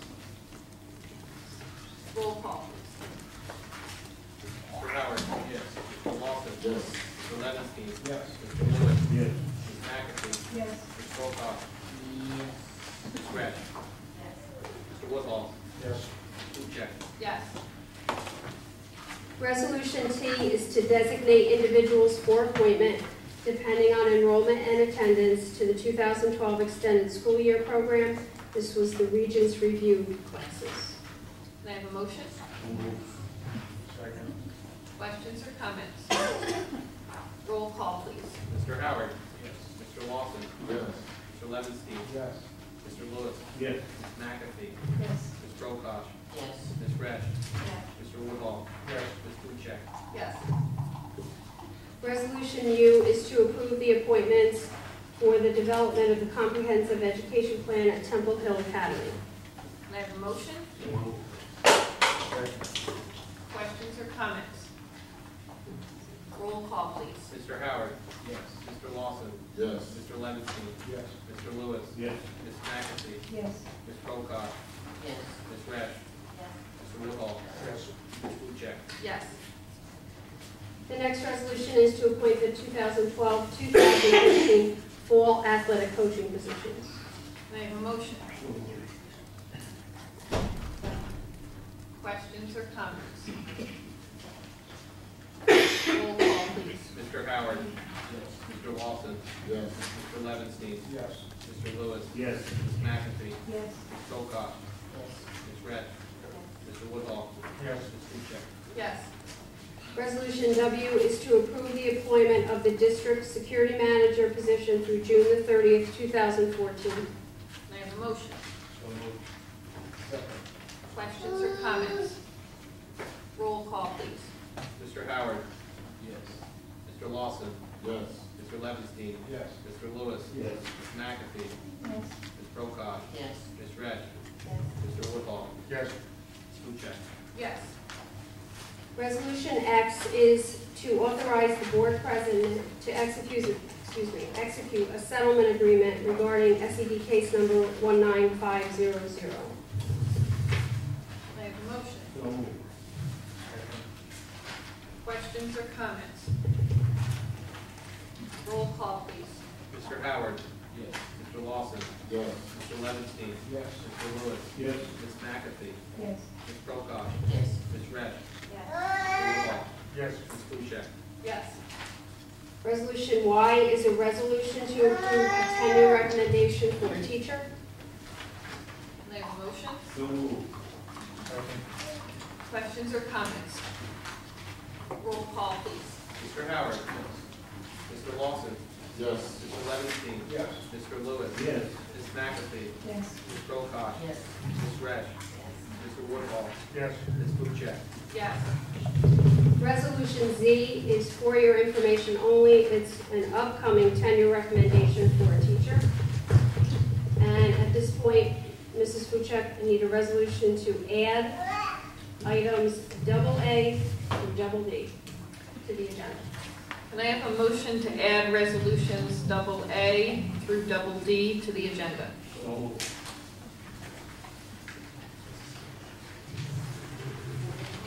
It's on the table. Roll call, please. Mr. Howard? Yes. Mr. Lawson? Yes. Mr. Levinstein? Yes. Mr. Lewis? Yes. Ms. McAfee? Yes. Ms. Prokop? Yes. Ms. Resch? Yes. Mr. Woodhull? Yes. Ms. Buczek? Yes.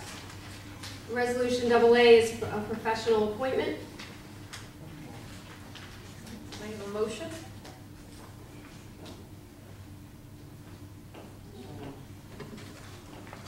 Second. Questions or comments? Roll call, please. Mr. Howard? Mr. Lawson? Yes. Mr. Levinstein? Yes. Mr. Lewis? Yes. Ms. McAfee? Yes. Ms. Prokop? Yes. Ms. Resch? Yes. Mr. Woodhull? Yes. Ms. Buczek? Yes. Resolution double B are additional professional change of status appointments. Can I have a motion? So moved. Questions or comments? Yes, Ms. Prokop. I'd like to have this move to executive session along with B, the double B. Can I have a motion to table the resolution double B? So moved. Second. Roll call, please. Mr. Howard? Yes. Mr. Lawson? Yes. Mr. Levinstein? Yes. Mr. Lewis? Yes. Ms. McAfee? Yes. Ms. Prokop? Ms. Resch? Mr. Woodhull? Yes. Ms. Buczek? Yes. Resolution double C are additional professional change of locations. Can I have a motion?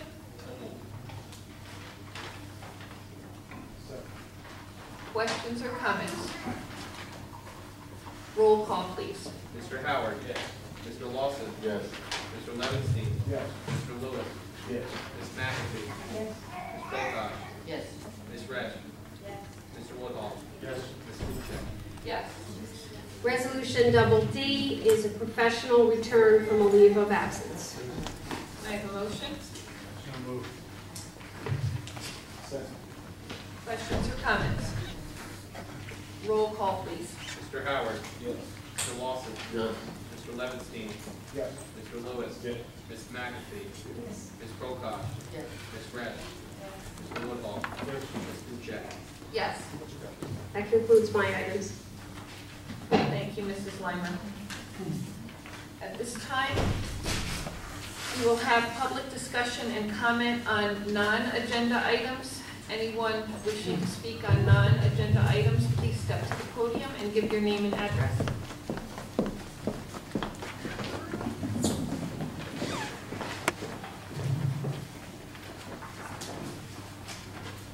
Hi, my name is Letitia Paletti. Um, I'm here as a parent. Uh, My daughter is going to be attending Horizons Pre-K this fall, and um, I'm here to talk about an issue with bus safety. On Tuesday, June 12th, 2012, uh, there was an accident. Uh, A little boy was hit by a car uh, while being dropped off the bus at the daycare where my children attend, Young Evening on Lake Street. Um, The top of the parking lot on the daycare side is the bus stop. A young man named T. Juan, who is a youth worker for the after-school program, went to pick up the child from the bus. He said that he waited for a half an hour and it didn't come. Uh, It was a regular bus driver.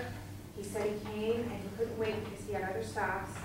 He did his rounds, and then he let a little boy named Tobias, um, he's seven years old, off at the Sunoco, opposite the daycare, um, on the corner of Lake Street and South William, and he told Tobias, uh, to cross the street to the daycare. Um, At the same time of the incident, um, the pre-K teacher there, Marianne Goodwin, told me that he did not leave the flashing lights on while he crossed, he just pulled away. He was hit by a car while crossing Lake Street. Um, The person who hit him brought him down to the daycare and the police were called. Uh, Tobias then went to the hospital in an ambulance with Miss Pat Harbin, who was a teacher at Young and Me, And um, thankfully, he was okay. There were no major injuries. Um, I spoke with uh, Mr. Connolly uh, first about the incident. He said that it is policy that because the reason why I called is to see about bringing buses into the parking to drop off students after this incident. Obviously, I'm concerned with safety. Um, Mr. Connolly said it was a policy issue and there was nothing he could do about it, so then I contacted um, Ms. Buczek. And uh, as per our conversation the other day, Ms. Buczek said that after speaking with others, um, it was a parent responsibility to bring the child off the bus and in lieu of the parent, the daycare's responsibility. Um, However, I don't really see how it can be. The daycare person was out there waiting for 30 minutes. Perhaps he was a minute or two late getting to the stop, no one really knows. It was the bus driver who indicated he could not wait for anyone, and rather than to have his dispatcher call the facility to send someone out, which I'm told has happened with other daycare facilities, he continued on his route, and when he was done, he dropped a seven-year-old boy not only two blocks from his stop, but on the opposite side of a four-lane state highway, and told him to cross on his. It was the driver of the vehicle um, who hit Tobias uh, that took him to the daycare to report the accident, not the bus driver, because he left.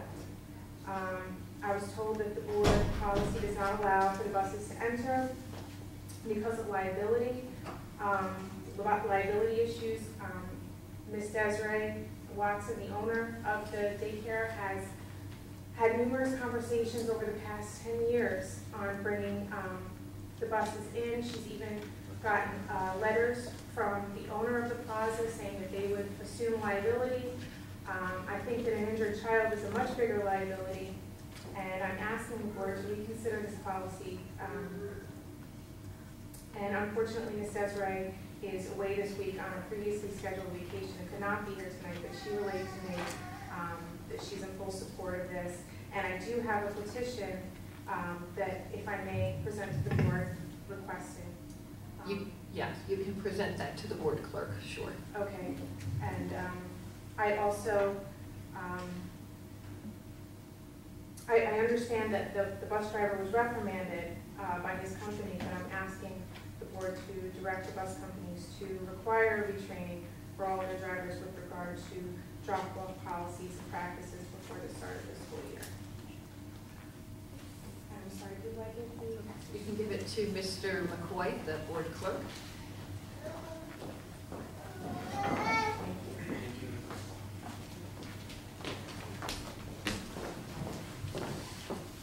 Thank you. Thank you, Ms. Politi.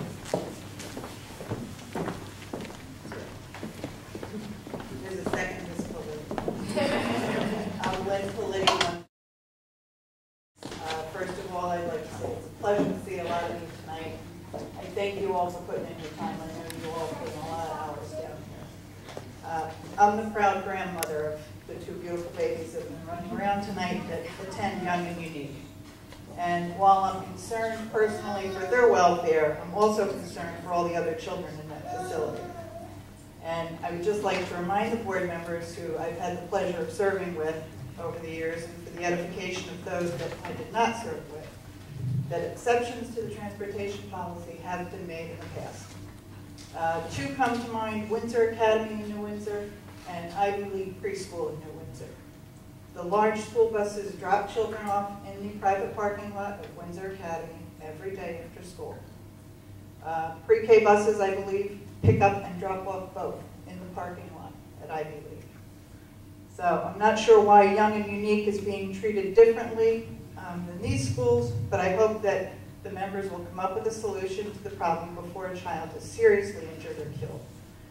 To quote Mr. Fortune tonight, these students are our life. And I know that this board takes very seriously their responsibility to keep all of our children safe while traveling to and from school, and I look forward to hearing your solution. Thank you. Thank you, Mrs. Politi.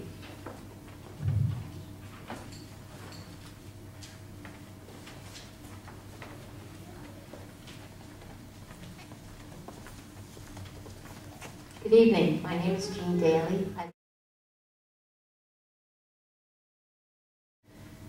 I'd like to just make three positive comments tonight. Wouldn't that be nice? Um, First of all, I appreciate that.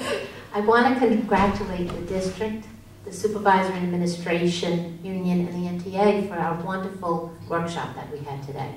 It was the first time ever we had a collaborative effort where we spoke about our code of conduct in the same place at the same time, so all of the administrators and teachers could hear the same thing.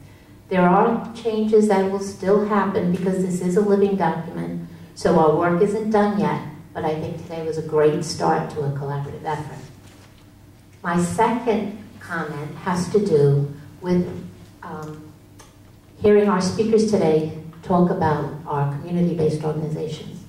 And I want you to know that the NTA also feels very strongly about including the CBOs in what we do. The four officers recently visited the Newburgh Armory, Newburgh Armory Unity Center, and we were very impressed with what they are proposing to do for our students. And we are investigating ways that we, the NTA, can support these educational services through the Newburgh Armory. You were uh, at the board of directors for the Newburgh Armory Unity Center. Your visit was um, communicated with us, and uh, the fact that you're looking to partner and, and work with us. Thank you. Welcome. And lastly, I just want to congratulate the district on the beautiful Town of Newburgh Library branch that's at the Newburgh Mall. I was extremely pleased when I saw it. I couldn't get over the brand new books, and I thought it was an excellent opportunity for our families and our children to have an alternative venue for utilizing our library services. And I just hope that the good word gets out further once school begins. And tomorrow, um, we have their official grand opening at 1 o'clock. So anyone that would like to join us, we will be there celebrating that branch in the uh, town, the Newburgh Mall. So, Thank you very much. Thank you, Mrs. Daly.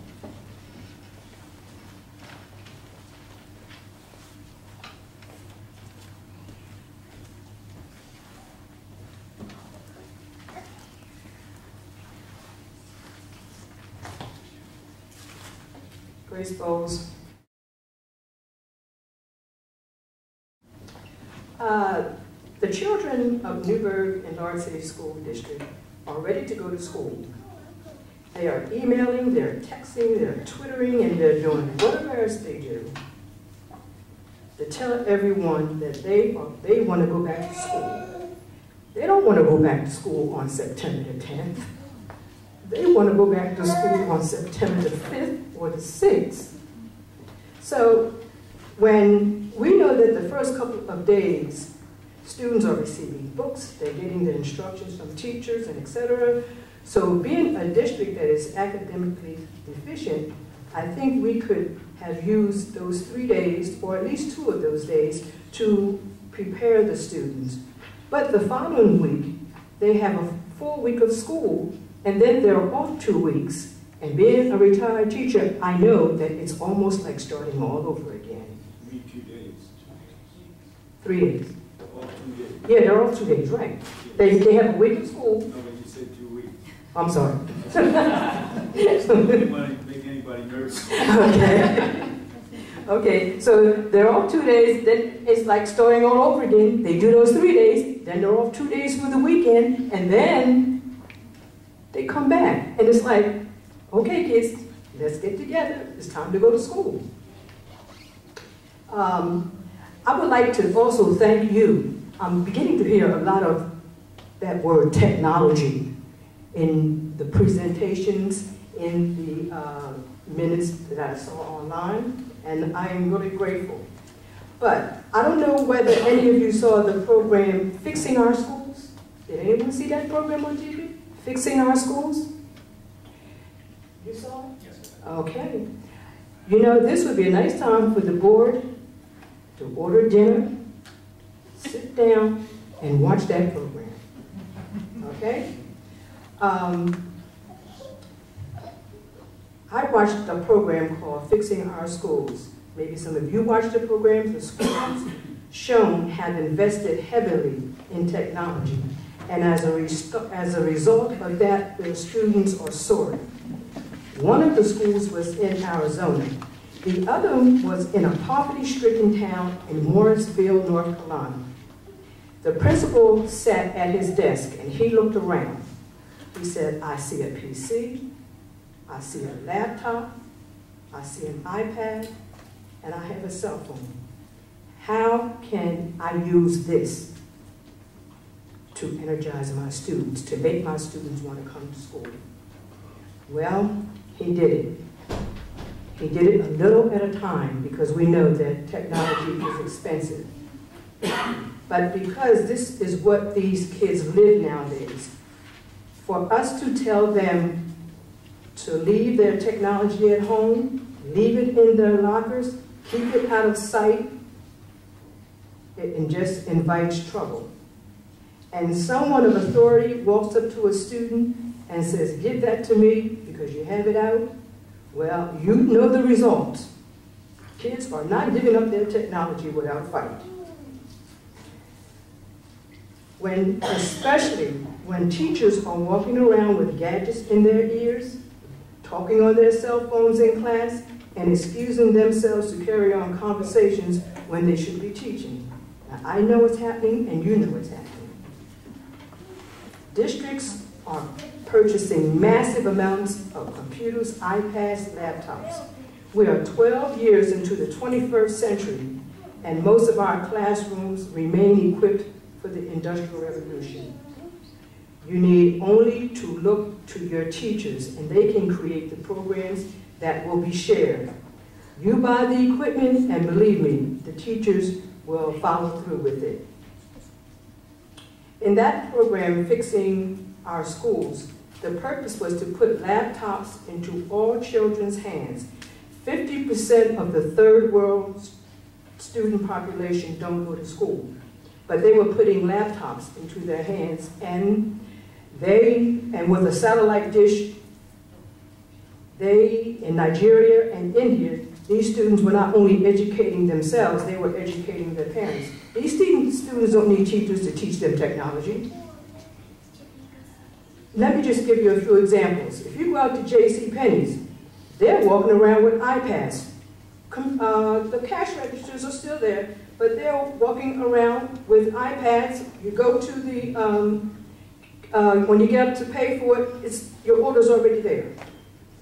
Commercials are not black and white and boring, but they're colorful, upbeat, and techy. Remember I asked you years ago about Mandarin? Well, we need Mandarin. We started out trying to get German, but I don't think we have that now.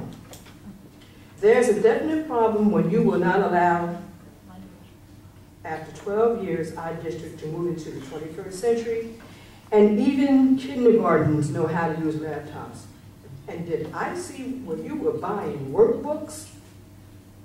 Shouldn't you, shouldn't you be buying something else? You put the, you put the kindergarten on a workbook? Most classrooms have one computer to take attendance and receive district emails. Please do not use the excuse of students not having access to computers or technology. They got those $300 sneakers, they can get a computer.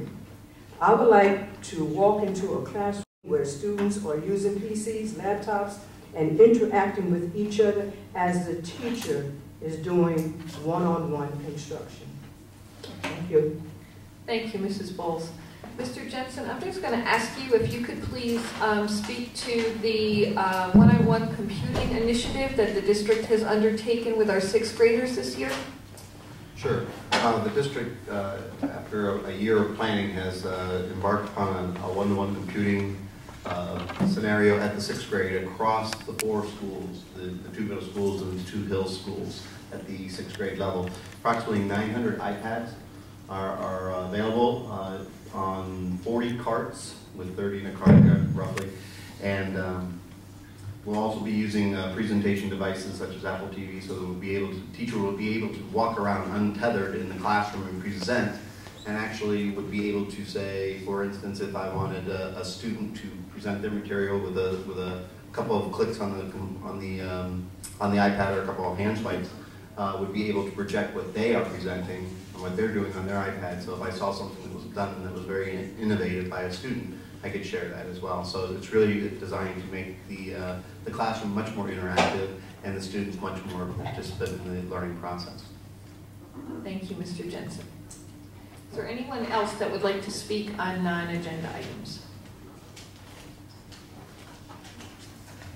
Be it resolved that the board hereby recesses into executive session for the following purpose, considering matters made confidential by FERPA, and to discuss matters regarding the employment history of particular individuals. The board may take action after the executive session. Can I have a motion? Roll call? Mr. Howard? Yes. Mr. Lawson? Yes. Mr. Levinson? Yes. Mr. Lewis? Yes. Ms. McAfee? Yes. Ms. Prokop? Ms. Redd? Yes. Mr. Woodhull? Yes. Ms. Buczek? Yes. Thank you all for being here this evening with us.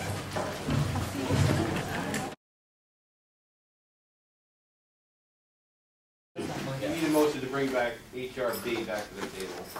Can I have a motion to bring resolution, HR Resolution B back to the table? So moved. Second. Roll call.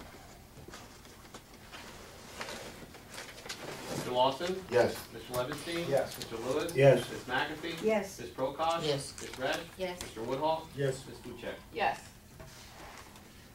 Can you read Next one. resolution? Can I have a motion for, Now that you brought it back to the table, you Yeah. can actually vote, vote on it. Mm-hmm. right, so we have to read the resolution. Just professional change of status. Can I have a- Has it changed at all? No. No. So, so you could just vote Okay. Uh, can I have a motion for Resolution B, professional change of status? So. Second. Questions or comments? Roll call, please. Mr. Lawson? Yes. Mr. Levinstein? Yes. Mr. Lewis? Yes. Ms. McAfee? Yes. Ms. Prokop? Yes. Ms. Redd? Yes. Mr. Woodhull? Yes. Ms. Buczek? Yes. Thank you. Cue back to the table. Need a motion to bring Q back to the table?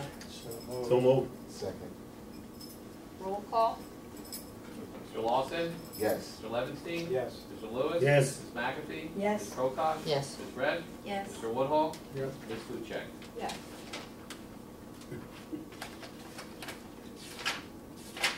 Mary Lou, I mean, Seagull. Yes. Uh, Just say. Uh, Can I have a motion on um, Resolution Q? So moved. Second. It's the creation of a a full-time media communications teacher position. Yeah.